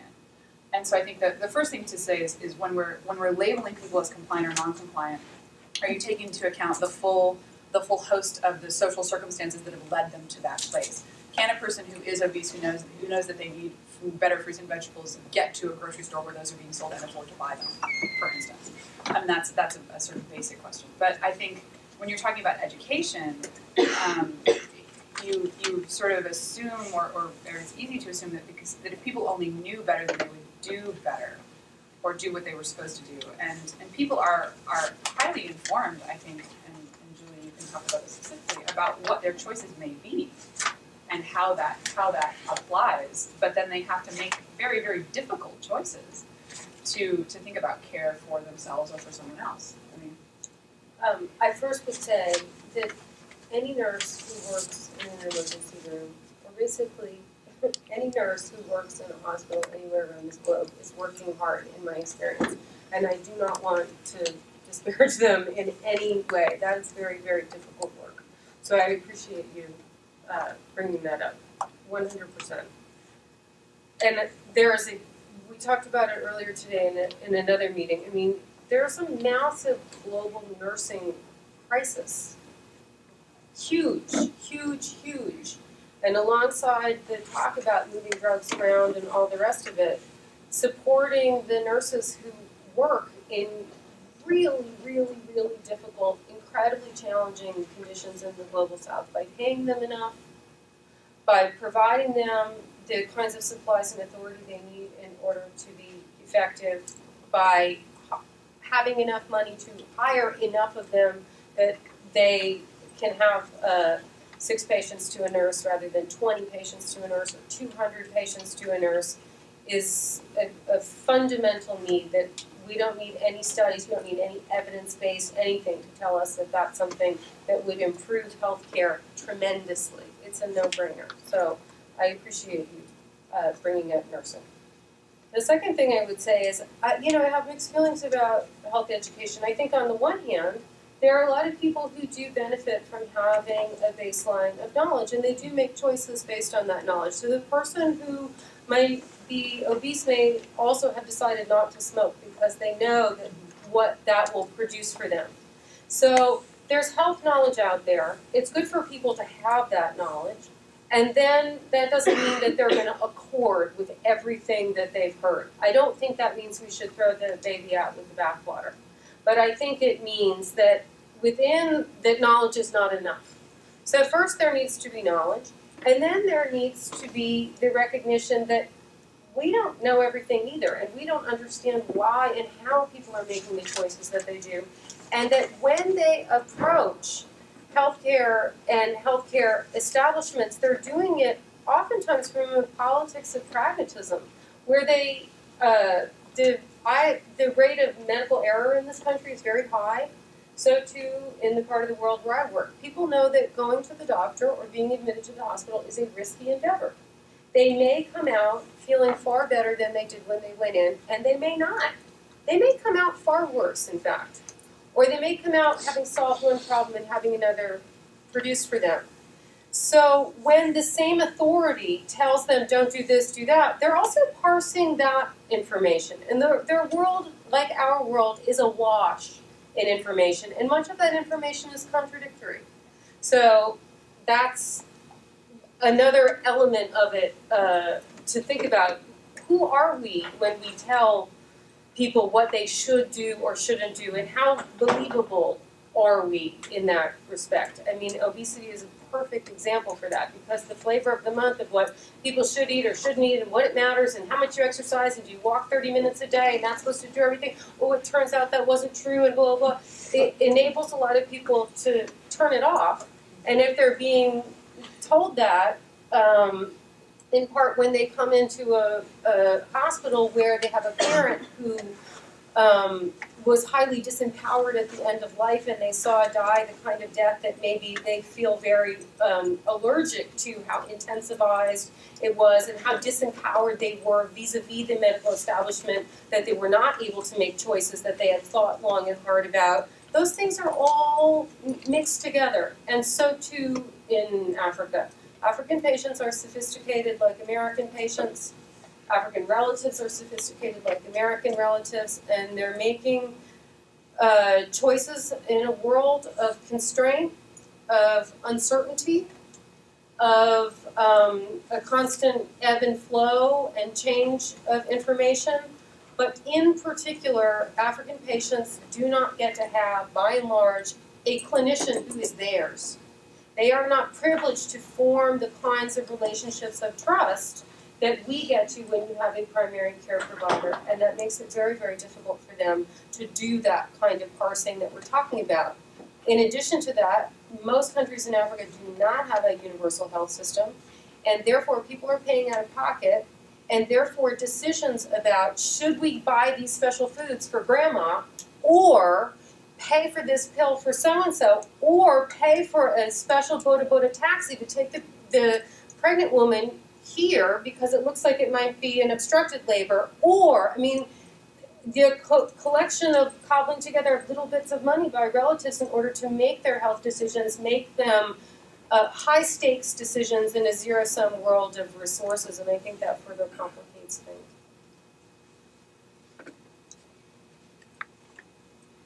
Chris. Oh, thanks for two great papers. Um, I've got a question that's a bit more historical, um, but really just about the concept of development, where it came from, um, what we do with it.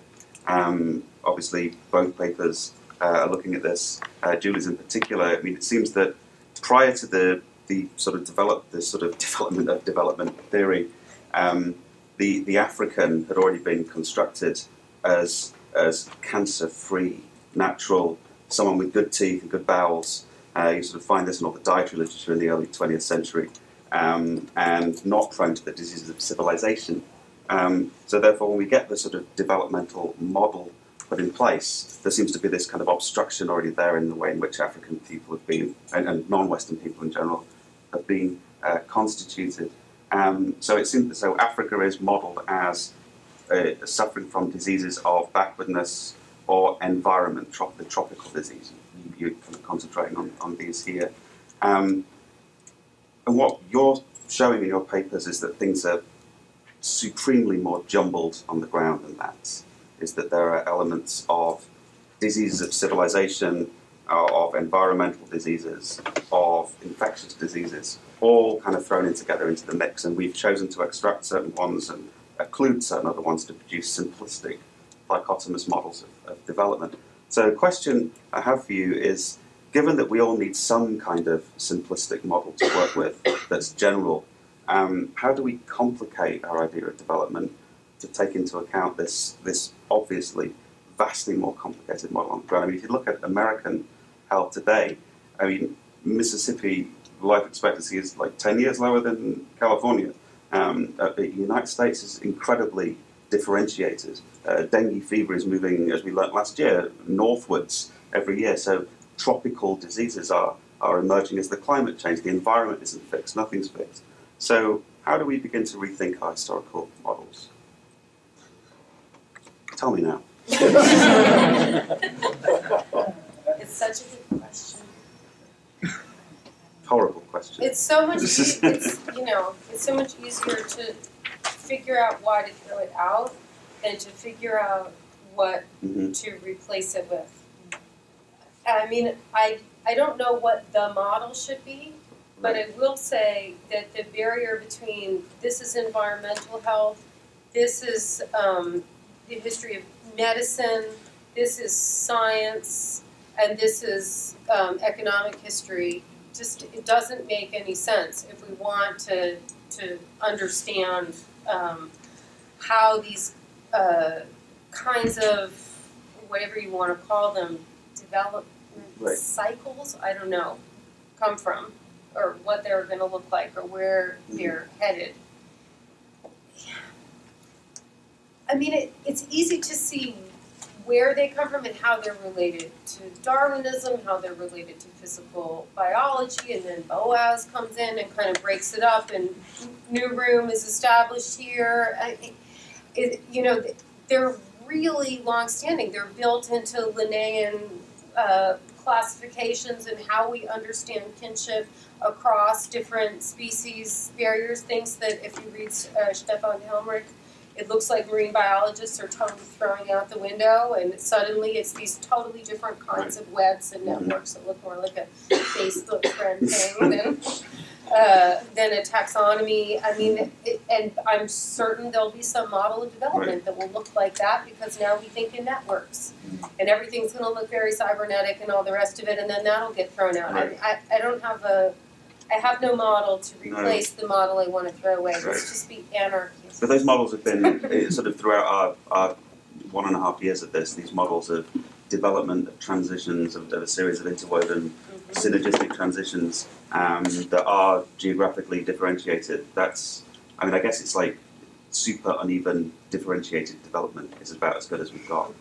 But they're also always based on all these falsehoods. I, I mean, it's often hard, it takes a while to, um, when you talk to epidemiologists, there used to be that theory that the reason that African Americans have high rates of hypertension is that there was something about the Middle Passage that caused uh, um, African Americans who could retain water better to survive the Middle Passage, and so there was this genetic preference, and that's why we have high rates of hypertension here, and we have no hypertension in Africa.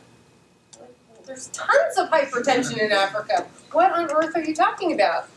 It, it, you, I don't know why I went down that little road. Mary? Oh, um, I will think about it and perhaps get back to you. of all history. that. It's just asked you to formulate Yeah, sort of re- reformulate how we think about development and, and, and how it. Where is Because I think Braudel?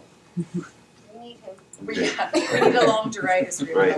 But I, you know, I mean, I Don't think put But, but in, in essence, you're saying interconnection. In other words, we cannot have uh, divided fields. And we have to think across fields, and we cannot think that economic history and, and, and uh, medical history and, and everything is, is separated, and, and they have to be co-integrated into into. And they can't be centers and defining one peripheries. health. One health. Yeah, there we go. All right. yeah. Get One Bob health. Marley to sing it. But also, we can't have centers and peripheries. It also doesn't work like that. You know, you guys know the Indian Ocean has been connecting Africa to Asia long before the Europeans came calling.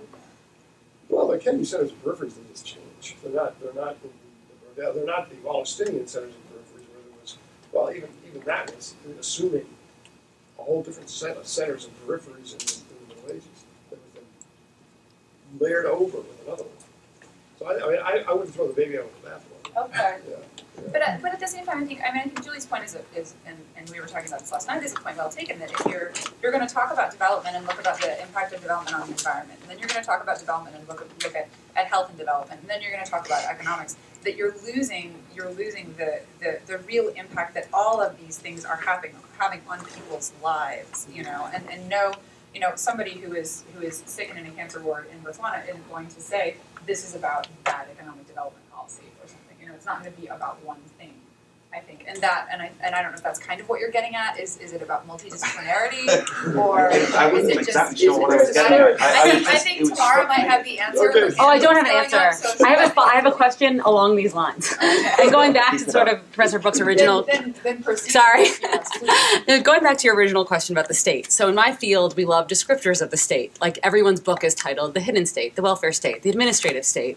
And when you asked your question about the state, I was like, "What? Like, is that where the power lies?" So you know, getting to both of your issues, there is a very powerful state. So Botswana versus Zimbabwe comes across very strongly. At the same time, it's NGOs, it's non-profit, you know, it's it's um, non-state actors, it's NIH grants which go through nonprofit universities, which then get funneled to site-specific. They're thinking about the state when we're talking about healthcare. It seems like we really, really need a new set of um, boundaries or words or some way to think about this carefully. I think the value of thinking about it carefully is it helps us track power. So just saying it's so multifactorial that we can't think about it doesn't seem to be useful. And in both of your papers, you seem to be going somewhere with your analogies. And I was just wondering how you guys think about it. Have you conceptualized it further? Do you have a descriptor that you affiliate with this, that helps you affiliate with the healthcare state or health services state? It seems like it'd be, it'd be useful.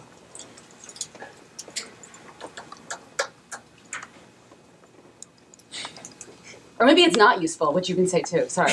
No, it's useful, Yeah. but it's also a question of the state in relationship to what. I mean, when you said Zimbabwe and Botswana, then I thought for a moment about comparing the two, and they're both very powerful states for people on the ground, but in radically different ways. In Botswana, patients can go into the hospital, and the hospital can have all kinds of problems, and they can go into their school or their courthouse, and it can have all kinds of problems. But they walk in as a citizen, and they own it, and it's theirs, and they know it. They may complain that the line is too long. They may complain that that nurse was rude. They may complain that this is like this, but it's theirs. They're not begging for it. They don't have to say thank you, though they're very polite and they do. But you know, they're saying thank you to a human being, not to some gift coming from some outside place. This is mine, and I'm a citizen of the state that I can also complain about and that I'm worried about is changing in this way. And if I'm of this ethnicity, I might have a particular problem with the state as a linguistic minority. Or as a woman, I may have a problem with the state because of how this and that work. But that's what it is. In Zimbabwe, right now, people are, the state is quite palpable in its absences and in its presence, right? People are well aware of the state. Some people are quite afraid of the state. Some people lower their voice because they're not sure if the state is listening. People don't know, you know, what the state is capable of, what it's up to. On the other hand, they know full well what the state is doing at a given moment, and they know that their state right now is internally contradictory, and eventually the head of state is going to die, and nobody knows what's going to happen. And you can look at Zimbabwe as a failed state, or you can look at the Zimbabwean state as being very, very powerful because when they say jump, a lot of people have to, right? And when and people's politics are fully conscious of who the state is at every given moment. I, th- I think in, to some extent we got a not derailed is the wrong word, but um, the Foucauldian model of power, which is i- tremendously productive and useful for understanding how things work, can't stand as the only model of power. And you know, my uh, friend Paul Landau, who also works in Botswana, always says, a Botswana, a village in Botswana is a panopticon, right? You have to sit out on your front porch. It looks like a cross section of a honeycomb. There are all these little wards. There's members of the aristocracy who live in each ward, and people can see one another. You know what's up. You know you're visiting your neighbors. Everybody kind of knows what's going on in public life, and you never know who's watching, who's visiting, who, who's doing what. Uh, just like in a small town in New England, I'm from New England, it's highly panoptical, as you know, because you're also from New England, right? But but at the same time, in the center of the village, they publicly flog people, right? It's not either or. no, it's not either or, but it seems particularly with health services, you have a different, a, a specific kind of flow of money. That that's all I'm saying. It seems like particularly in this one way, um, where money comes from is, is more is more diverse or has a particular kind of power dynamic and a But a But maybe it's not you, maybe this- yeah. Okay, and then a I lot maybe- of that depends on how the particular state brokers these public-private partnerships which are emergent. And the Botswana state is very smart where this is concerned because they will not allow parallel structures to exist. Mm-hmm. If you give money, they insist on folding it into the Ministry of Health bureaucracy, which gives them ultimate control over what happens. You cannot be a freestanding structure out there doing what you want because you brought a lot of money. And unfortunately, that's what you see in many other places. And as a result, the state can't pull together and coordinate what's going on. So I, I now I understand what you're asking. Sorry, I thought we were just talking about the state and not in relationship to health. Oh no, I meant sorry. Many of the other African countries are moving towards that direction. Even if you are USAID or others and giving money, unless the uh, Ministry of Health uh, gives a blessing, USAID wouldn't give them. Just had recent experience the last couple of days myself and some of the grants that you need to get the ministry's endorsement before you get grants from uh, you know, funding agencies. It's not like the competitive NIH others, but like USAID or other donors or World Bank or others. So they have the full control of the funds and what you do in the country. But there's also a reinscription of the state from the early 90s when people gave up on the state and were happy to fund NGOs and allow parallel structures to, to take place. And I thought in your paper, this this same kind of arc that the 60s and the 70s are a time of cancer research and there's cancer things happening at a time where people believed that these that things could develop right before the before inflation before single market you know um, single product markets fail this kind of thing so there's there's this imagination of the state and the possibility in both of these places that, that has the kind of curiosity that you were talking about before Absolutely.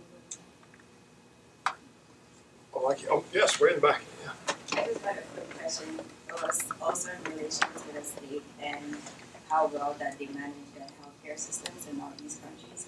And you just mentioned that now the health ministries are mandating that when you're bringing in international funds, whereas before international organizations will mandate how they will determine how the funds would be used. Now you have local governments trying to mandate how they can properly like apportion the money for the health system, but how well are they being accounted for in these countries? Because you still have the problem of not everybody receiving the appropriate health care that they should. And if they're implementing this in place, which I guess which um, body is overseeing this, because they can easily defy the AU or the United Nations. It all boils down to the country itself trying to determine how well they can use the money so the government might see it as appropriate, but then it's not helping the local people. So how are they, um, I guess, how they assessing how useful these funds have been used? I think just to, to comment on that, um, I think there is two parts of that.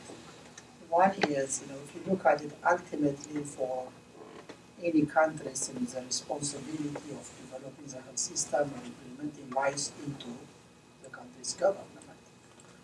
All the others, whether it's NGO, academic partners, others, you know, play a role, collaborating and making impact. Uh, but you know, ultimately the uh, regulatory or other systems is just belongs to the nation.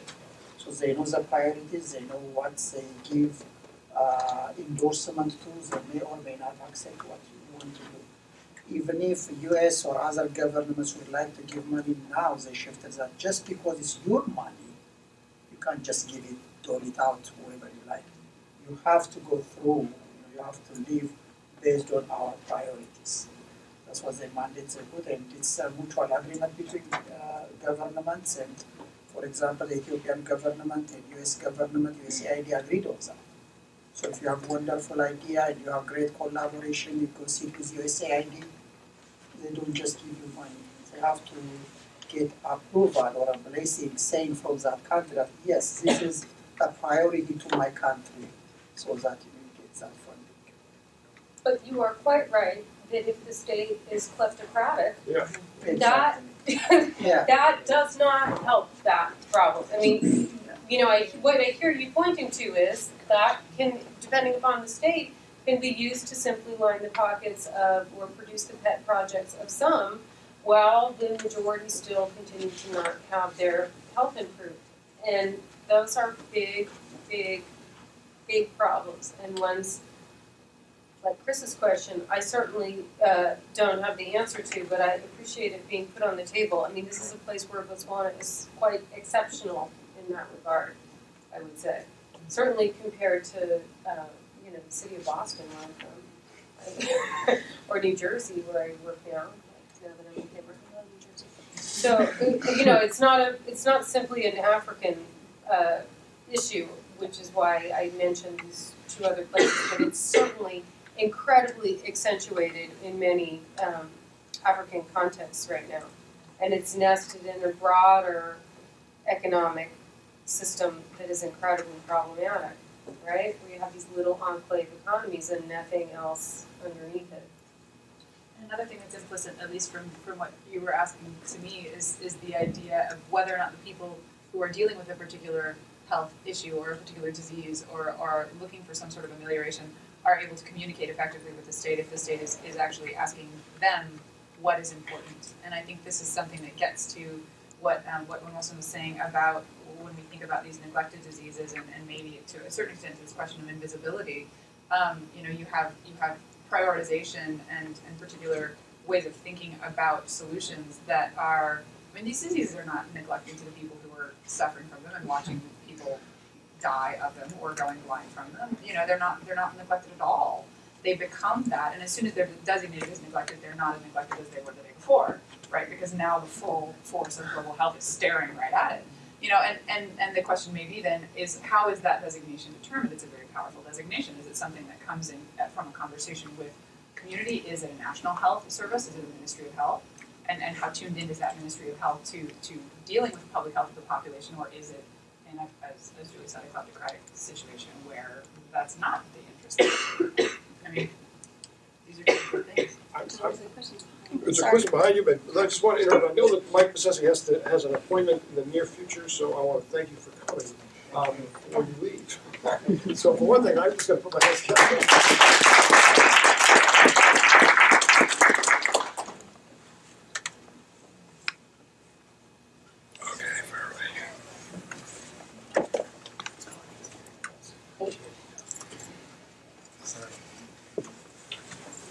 Uh, so, Mari, I'm now realizing that you've sort of been saying this all along, but I think I'm, I'm kind of getting it right now. It, it strikes me that part of this conversation about sort of the current um, state of the state and state of healthcare and state of the sort of confusing NGO state based um, environment has a really strong parallel to the period that you're talking about and the auxiliaries that you're talking about. Um, and one of the ways, I mean, I'm a sort of bottom up person in terms of methodology, so trying to think about the model of the state is is difficult. But I think that you know one of the things that you're seeing in your piece is the state becoming legible to these people, right? People who are suddenly seeing what it is that their glands are being felt for, right? And and similar to you know this the question of the modern day Zimbabwean is like how do you then extract from that experience what the state's intentions are and what this thing is, um, particularly in an environment when you have a lot of exit options, right? When this is not, you know, it, it's not state provided healthcare. It's not, you know, this is, there's many, many models going on. So I just, um, I just want to encourage you to, to keep pushing that parallel because I think it's one that people don't often, don't often go to. They look at sort of more recent, the forties or the fifties Yeah. or something, and not, not this period, yeah. Um, thanks, actually, because it's, it's always nice to have the, the language that you use turned back to you with a couple of things changed around and it clicks into place. So, you know, I mean, I've, I've been thinking about these gland feelers as operating, um, as operating as, as a sort of extension. They're, they're imbued with royal Ziba power as well as colonial biomedical power or, or authority. I mean, they're, they're taking with them village elders and maybe sometimes soldiers when they're going out into these villages. You know, I mean, they're, they're coming with different with different clothing, potentially they're coming with particular tools that they're using that not everybody has, and, and that marks them. And you, you see them as people who are so different. Right. But then in the process of them going out into the, into the villages, into a, into a family's you know sort of farm, does the family then start to understand? Oh, okay. So what these people need to know is my name mm-hmm. and how old I am, and you know whether I've been to Uganda in the last year or not, right? And and is okay. So then so then my you know where I've been working is important there was this whole idea that's just fascinating in this period that women that that and, and this is complicated by the fact that some trypanosomal diseases are sexually transmitted. So so veterinary trypanosomal diseases are, are can be sexually transmitted. But the the you had scientists who were thoroughly convinced that it was impossible for women to have gotten sleeping sickness in any other way but as a sexually transmitted disease because women aren't traveling, they're not migrating, they're not moving around, they're not going to the lake and back again. You know, this and, and it's just it's fascinating in the way that the colonial literature sort of constructed this idea about gender and mobility buried in these really uh, rigid ideas about how diseases are being transmitted. And you can kind of think about that. I don't know where how exactly I got on that edge of it either, but I mean it, it sort of it, it ties into what exactly people think they're supposed to be. doing. do they care? Do they care if the gland feelers are really wanting to this information?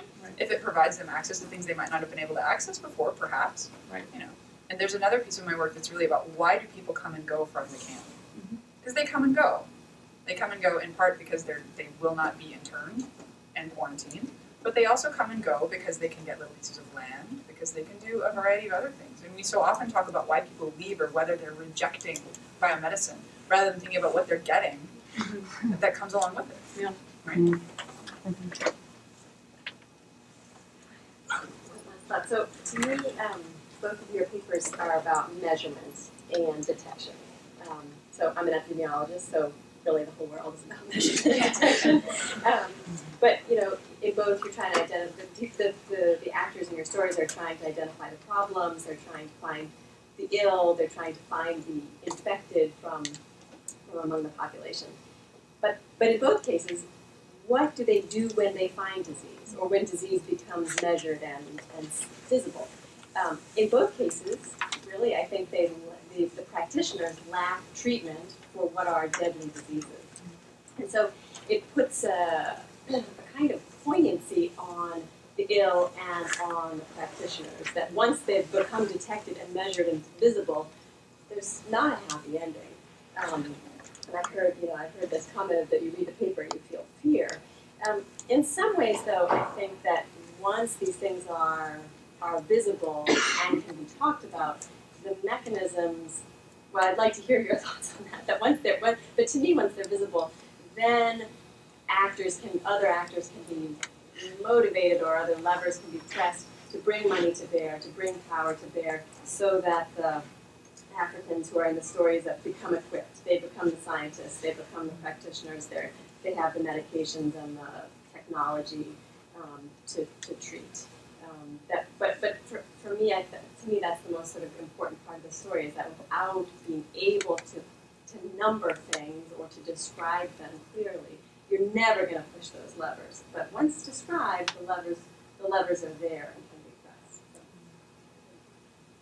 the rosy side, but I, but I'd be curious to hear whether you think that that's true. I think that that's very true. And then I think the question that that then brings up, at least for the anthropologist, know, for the historian, is it's our job to then see the levers being pressed for what? The mindset of global health, and before that, international health, um, is very much about disease transmission and blocking it for good reason. Mortality is what's counted for good reason. fertility, for good reason, all fine. But the experience of being ill is rendered invisible.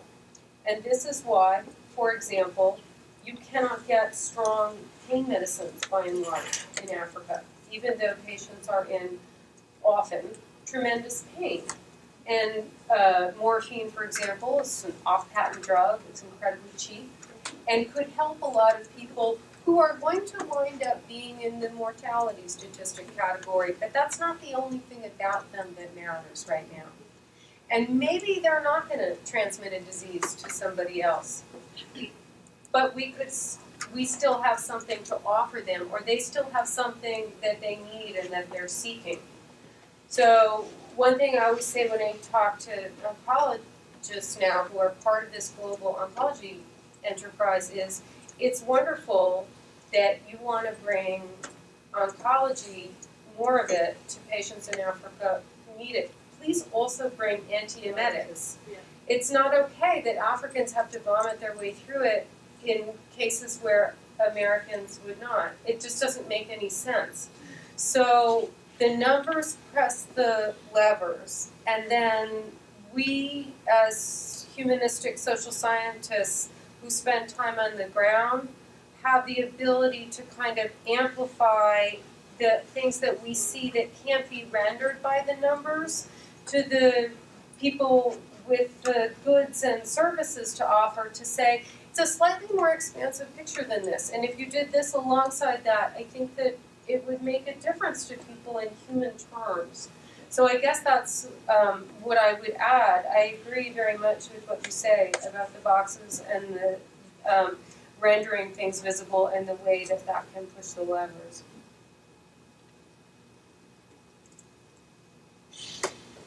I I want to let other folks ask questions. I have things thoughts about this, particularly with regard to um, the different conditions for diseases are caused, but I'll leave that for whoever's in thinking. We'll talk more later. Okay. Um, something that struck me was that kind of the other side of this invisibility of certain diseases. Um, something that you mentioned in your paper was sort of an invisibility of power as well. So when you're talking about the drug companies and how they will give, um, basically give free drugs so that they can hide the fact that they're they're able to give free drugs, basically, so that they can keep people from being too upset about the price of drugs to actually demand better pricing and demand more access.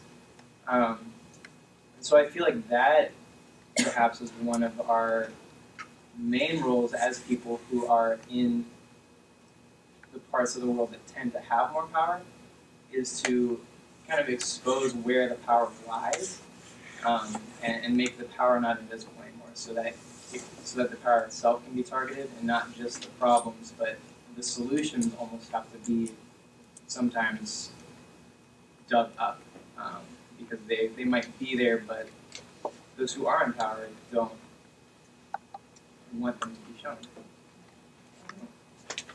I would agree, and then I would say that it's also at the same time um, really difficult to know uh, what to do. For example, in this country, when we went through our big economic crisis starting in 2009, and a lot of people were losing their jobs and therefore their health insurance or they were going on COBRA or what have you. Some of the drug companies had these programs to help patients continue to maintain their drug regimens when their health care was dissolving and disappearing. And so you could access those drugs during the gap period before you hope to be covered again. Or uh, you look at these private public partnerships like Merck and the government of um, Botswana, or the gift of Gleevec to patients in this ward. And I, I, I guess I want to say that it, it involves somehow threading the, the needle in order to expose what the relationships are of power because they're complex. And I do think that there's something good for people who need a drug to be able to get it. And I'm always worried about how to narrate that in a way that pr- provides another model of how it could take place. For example, in this country, we really don't seem to be ready to have a system of universal care. I mean, we just, it doesn't appear to be the political will. I don't know what it is. It's very bizarre to me personally, but it really seems to be the case. Some people clearly are going to have to give up some of what they have in order for that to be the case. It's not true that if we just prevent and live healthy lifestyles, healthcare will cost less. No, that's bullshit.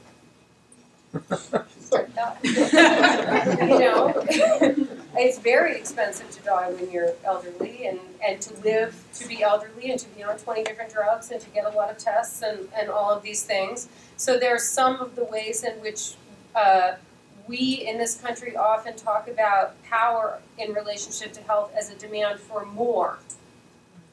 Don't deprive me of that mammogram. I don't trust you. We need more of those. Maybe. Don't deprive me of that drug. I demand it. You give my kid that antibiotic while I'm in your office. I demand it. I don't trust you. And that um, has amp our, our, our politics around medicine and power are distorted in particular ways in our own country that I think has effects throughout the world. And the case of Gleevec in the 20 bed cancer ward in Botswana is directly uh, related to that. So it's hard to know exactly how to narrate that, how to expose those relationships of power without shining a bright light on ourselves and our own anxieties about our health. Uh, you know, if I were to make one recommendation to every single person in this room, it would be to go buy Joe Dumit's new book, Drugs for Life, and read it and think about how knowledge is produced in relationship to those relationships. Not because people are predatory, not because people are greedy, but because unfortunately this system has become untenable and it's not serving us well right now. So, uh, you know, I'm very sympathetic to what you say. The question is how to do that. I think is incredibly complicated right now.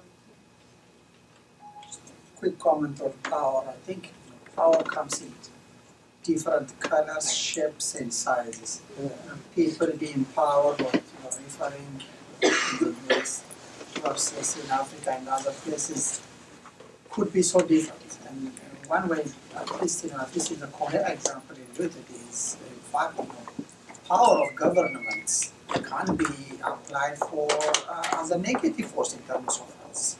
Um, like cholera outbreaks, unless you have a war or earthquake like Haiti, if you have a cholera outbreak in a nation that you are governing, it's absolutely an, uh, an implier of a very bad government. so often, you know, governments try to hide. Uh, at least in Zimbabwe is a very good example, and I know other nations. You know, at least in uh, in one country case, uh, they had a cholera outbreak and they named it as SOVD, sudden onset of vomiting and diarrhea. so anything formal and official, you know, it was, SOVD, and we went to that country and there was a CDC person, so it was just on a dinner, on a private talk. I, I asked him, what does this SOVD mean? What he said, I have one word for it, cholera. Period. But the government was absolutely hiding it. Don't call it cholera, period. Call it anything controls outbreak, but no, so it's, it's a power could also, you know, you know, hiding it. I'm sure there are a number of cases, just because they didn't call it cholera, I'm sure there has been, you know, the, you know it's highly contagious disease, and I'm sure the morbidity and mortality have been high. It can be used uh, in a different ways. Uh, we're gonna have one or two more questions back here. I, I, I'm, I'm, I am, I mean, I'm ready to go for another two or three hours on the state. Maybe that next, maybe we'll come back next year during our state formation and talk about the state because this is a big deal. I keep thinking about that general welfare clause, I'm just kind of running through my head right now. But I wanna go back here to John Perry and then right in front. of Okay, uh, this is for Maria and uh, historical question. Um, I noticed you were talking about Lyons, and I saw a few uh, footnotes to the to, to that effect. Uh, and I, I read that a few years ago, and I was struck by how willing the, and ready the Belgians were to use uh, uh, spinal punctures for, for finding uh, finding sleeping sickness. Mm-hmm. And it struck me that uh, the, the Germans uh, went more for uh, for the, the glands feelers, and I was wondering, is that reflective of the Belgians had more of an extensive medical infrastructure on the ground versus the Germans, or what? Um, you know, what's uh, is there a comparison drawn between their two different respo- uh, responses to sleeping sickness? Yeah, uh, that's a very good question. So the, the, the thank you. The question of comparing different sleeping sickness um, research, treatment, and prevention programs um, in the 20th century is is one that, in some ways, is in dire need of a really big, good, comprehensive book, but also. Um, the creation of that would lead to us really believing that these regimes are so completely different from one another, and I, I think there's a very good argument to be made that they're not as different. Um, when Maryinez Lyons has this book called The Colonial Disease, which is a wonderful, wonderful book um, about sleeping sickness, and she's really looking at, at the post World War One period and talking about um, diagnosis with um, with lumbar punctures with spinal taps, um, and then the the inclusion of people based on that result into a particular regime of, of treatment or disease prevention. Um, one of the reasons that the Belgians can do that is because they are, I mean. Uh, John is John is murmuring, awful, terrible, violent over here. Um, they they have a monopoly on violence in the nineteen in, in from the nineteen teens onward that um, that is uh, not unprecedented or unparalleled, but is extreme um, in sub-Saharan Africa. Um, the Germans pre pre World War One, particularly in the Lakes region, are dealing with uh, with a completely different um, network of, of, of power and monopoly on violence. Their, their medical apparatus, such as it is, is incredibly thin on the ground. There are very few station doctors. And the Sleeping Sickness Campaign has um, on the entire Burundian, now Burundian and, and, and Tanzanian shore of Lake Tanganyika, um, I think eight total stations spread out every couple, every sort of 50 to 100 kilometers, and that is it. Um, they know, and this is very interesting, they, the German doctors know that they cannot go in and do lumbar punctures. People will not tolerate it, they will leave, they will flee, they will resist, they will not have it. And they know, especially the, the doctor who's working at, at, at Kigarama for, for most of the time, says, I can't do lumbar punctures, I can't do autopsies. You know, I can kind of mostly do blood draws. Um, but I but I can't do those things because people people will not come back for this months long regimen of atoxyl that I want them to come back in. Um, and so I'm not doing those things. They know full well that lumbar punctures are the most reliable way of diagnosing sleeping sickness, but they but they can and won't do them, and they and it's a very pragmatic decision not to do them. Um, but one thing just to kind of keep in mind as you're as you're thinking about this, there's this sort of idea that the German colonial public health regime, particularly with regard to sleeping sickness, was was much more willing to use experimental drugs, much more using to, to use atoxyl, which was known to not be a very good drug um, and was more interested in drug treatment because the Germans are big pharma, right? They're where big pharma is born. Bayer and Paul Ehrlich and the whole lot. And that the, the British are doing depopulation and they're more ecologically minded, and the Belgians are doing all sorts of terrible things, whatever their nature might be. Um, and, and it's important to, to recognize that the, the Belgians are using atoxyl in a way to, to sort of combat or to argue with German research. Um, the Germans are also depopulating particular areas and doing fly control. Um, there are British doctors contemporaries of the German doctors that I'm working with that are trying out all sorts of different substances, not as much as other places, to see if maybe one of them will work uh, and, and kill trypanosomes in the human body.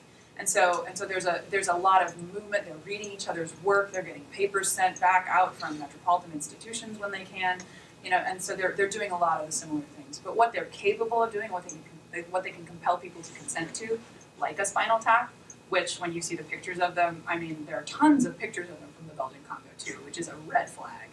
Um, you know, are, are really, uh, I mean, it depends on how many guns and soldiers you have around and, and really how thick the apparatus of the colonial state is on the ground.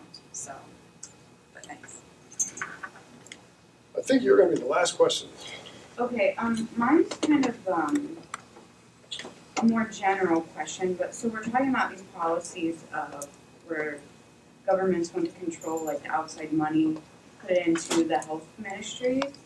Um, and so I'm sitting here thinking that that to me is like um, backlash of kind of all of these activities like uh, the gland feelers of uh, international NGOs, particularly Western NGOs, um, and how they've kind of um, thrown their money around. And I think it's kind of convenient that, and I guess maybe it would be convenient for us to say, well, you know, that could lead to corruption.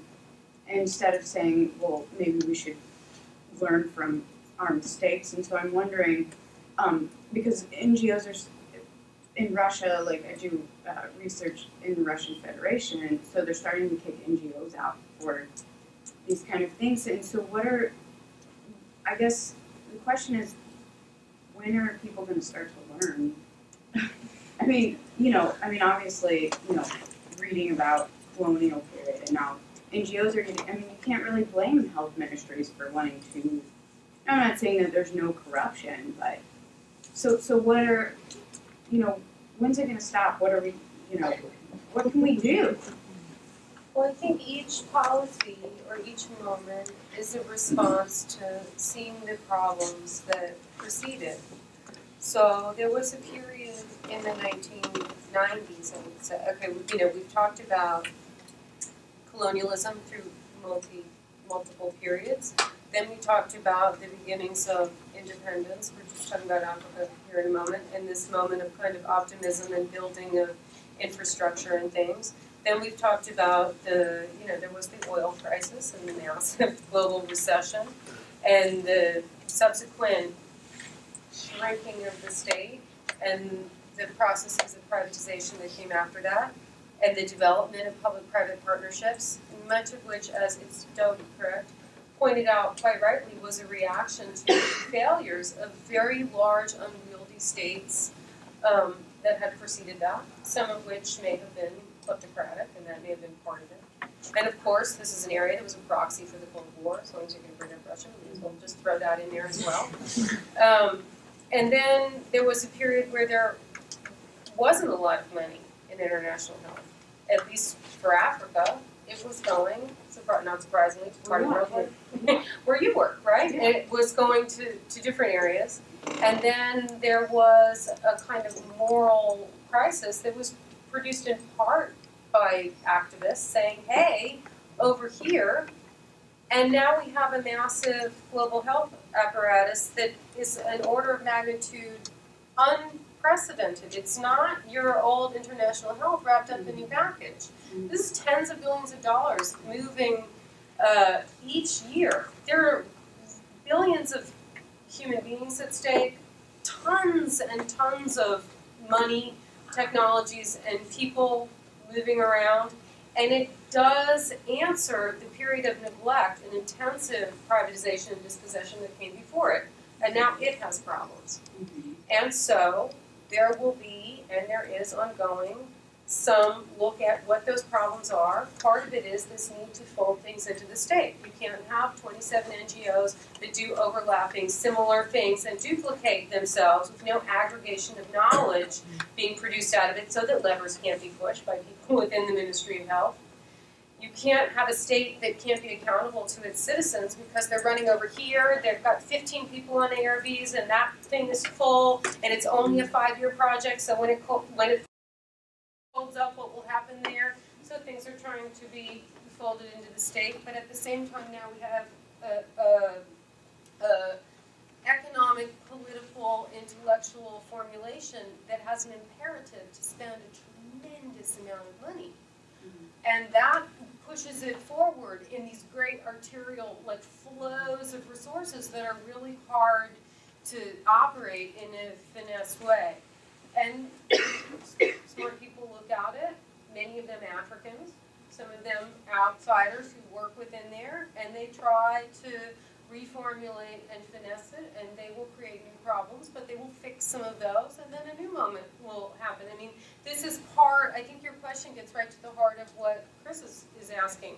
The, the, these are protean formulations. The environment moves, the fly belts move, the, uh, the problems on the ground move, the states shift, and part of our job as people who are interested in those things is to represent the interests of the people on the ground by looking as carefully and as closely as we can and saying, this is this is what I'm hearing and this is what I'm seeing, and people at different levels understanding, hearing, and seeing what they have, and then together trying to figure out a way to communicate with one another. But I don't think that finally we're going to learn from our mistakes because that would mean that the world was standing still.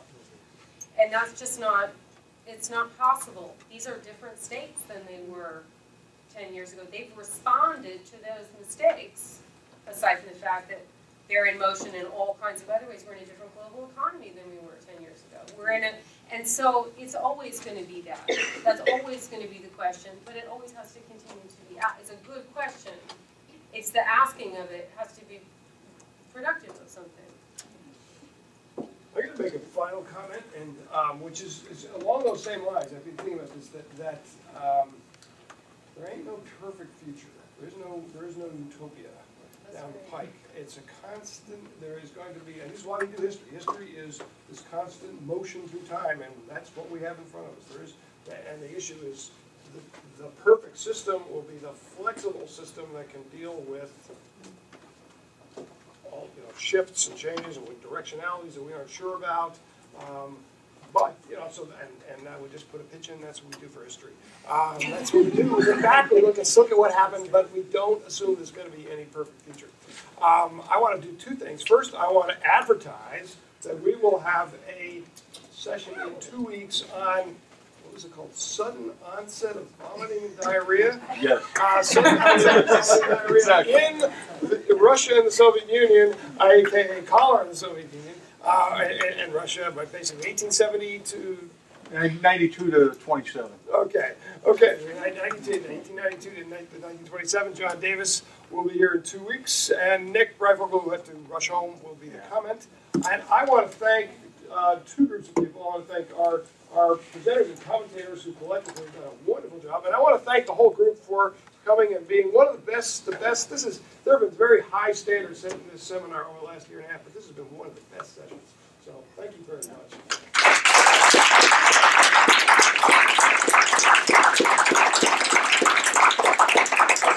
I feel like I'm getting prepared for would ask, he asks scary questions when I lose all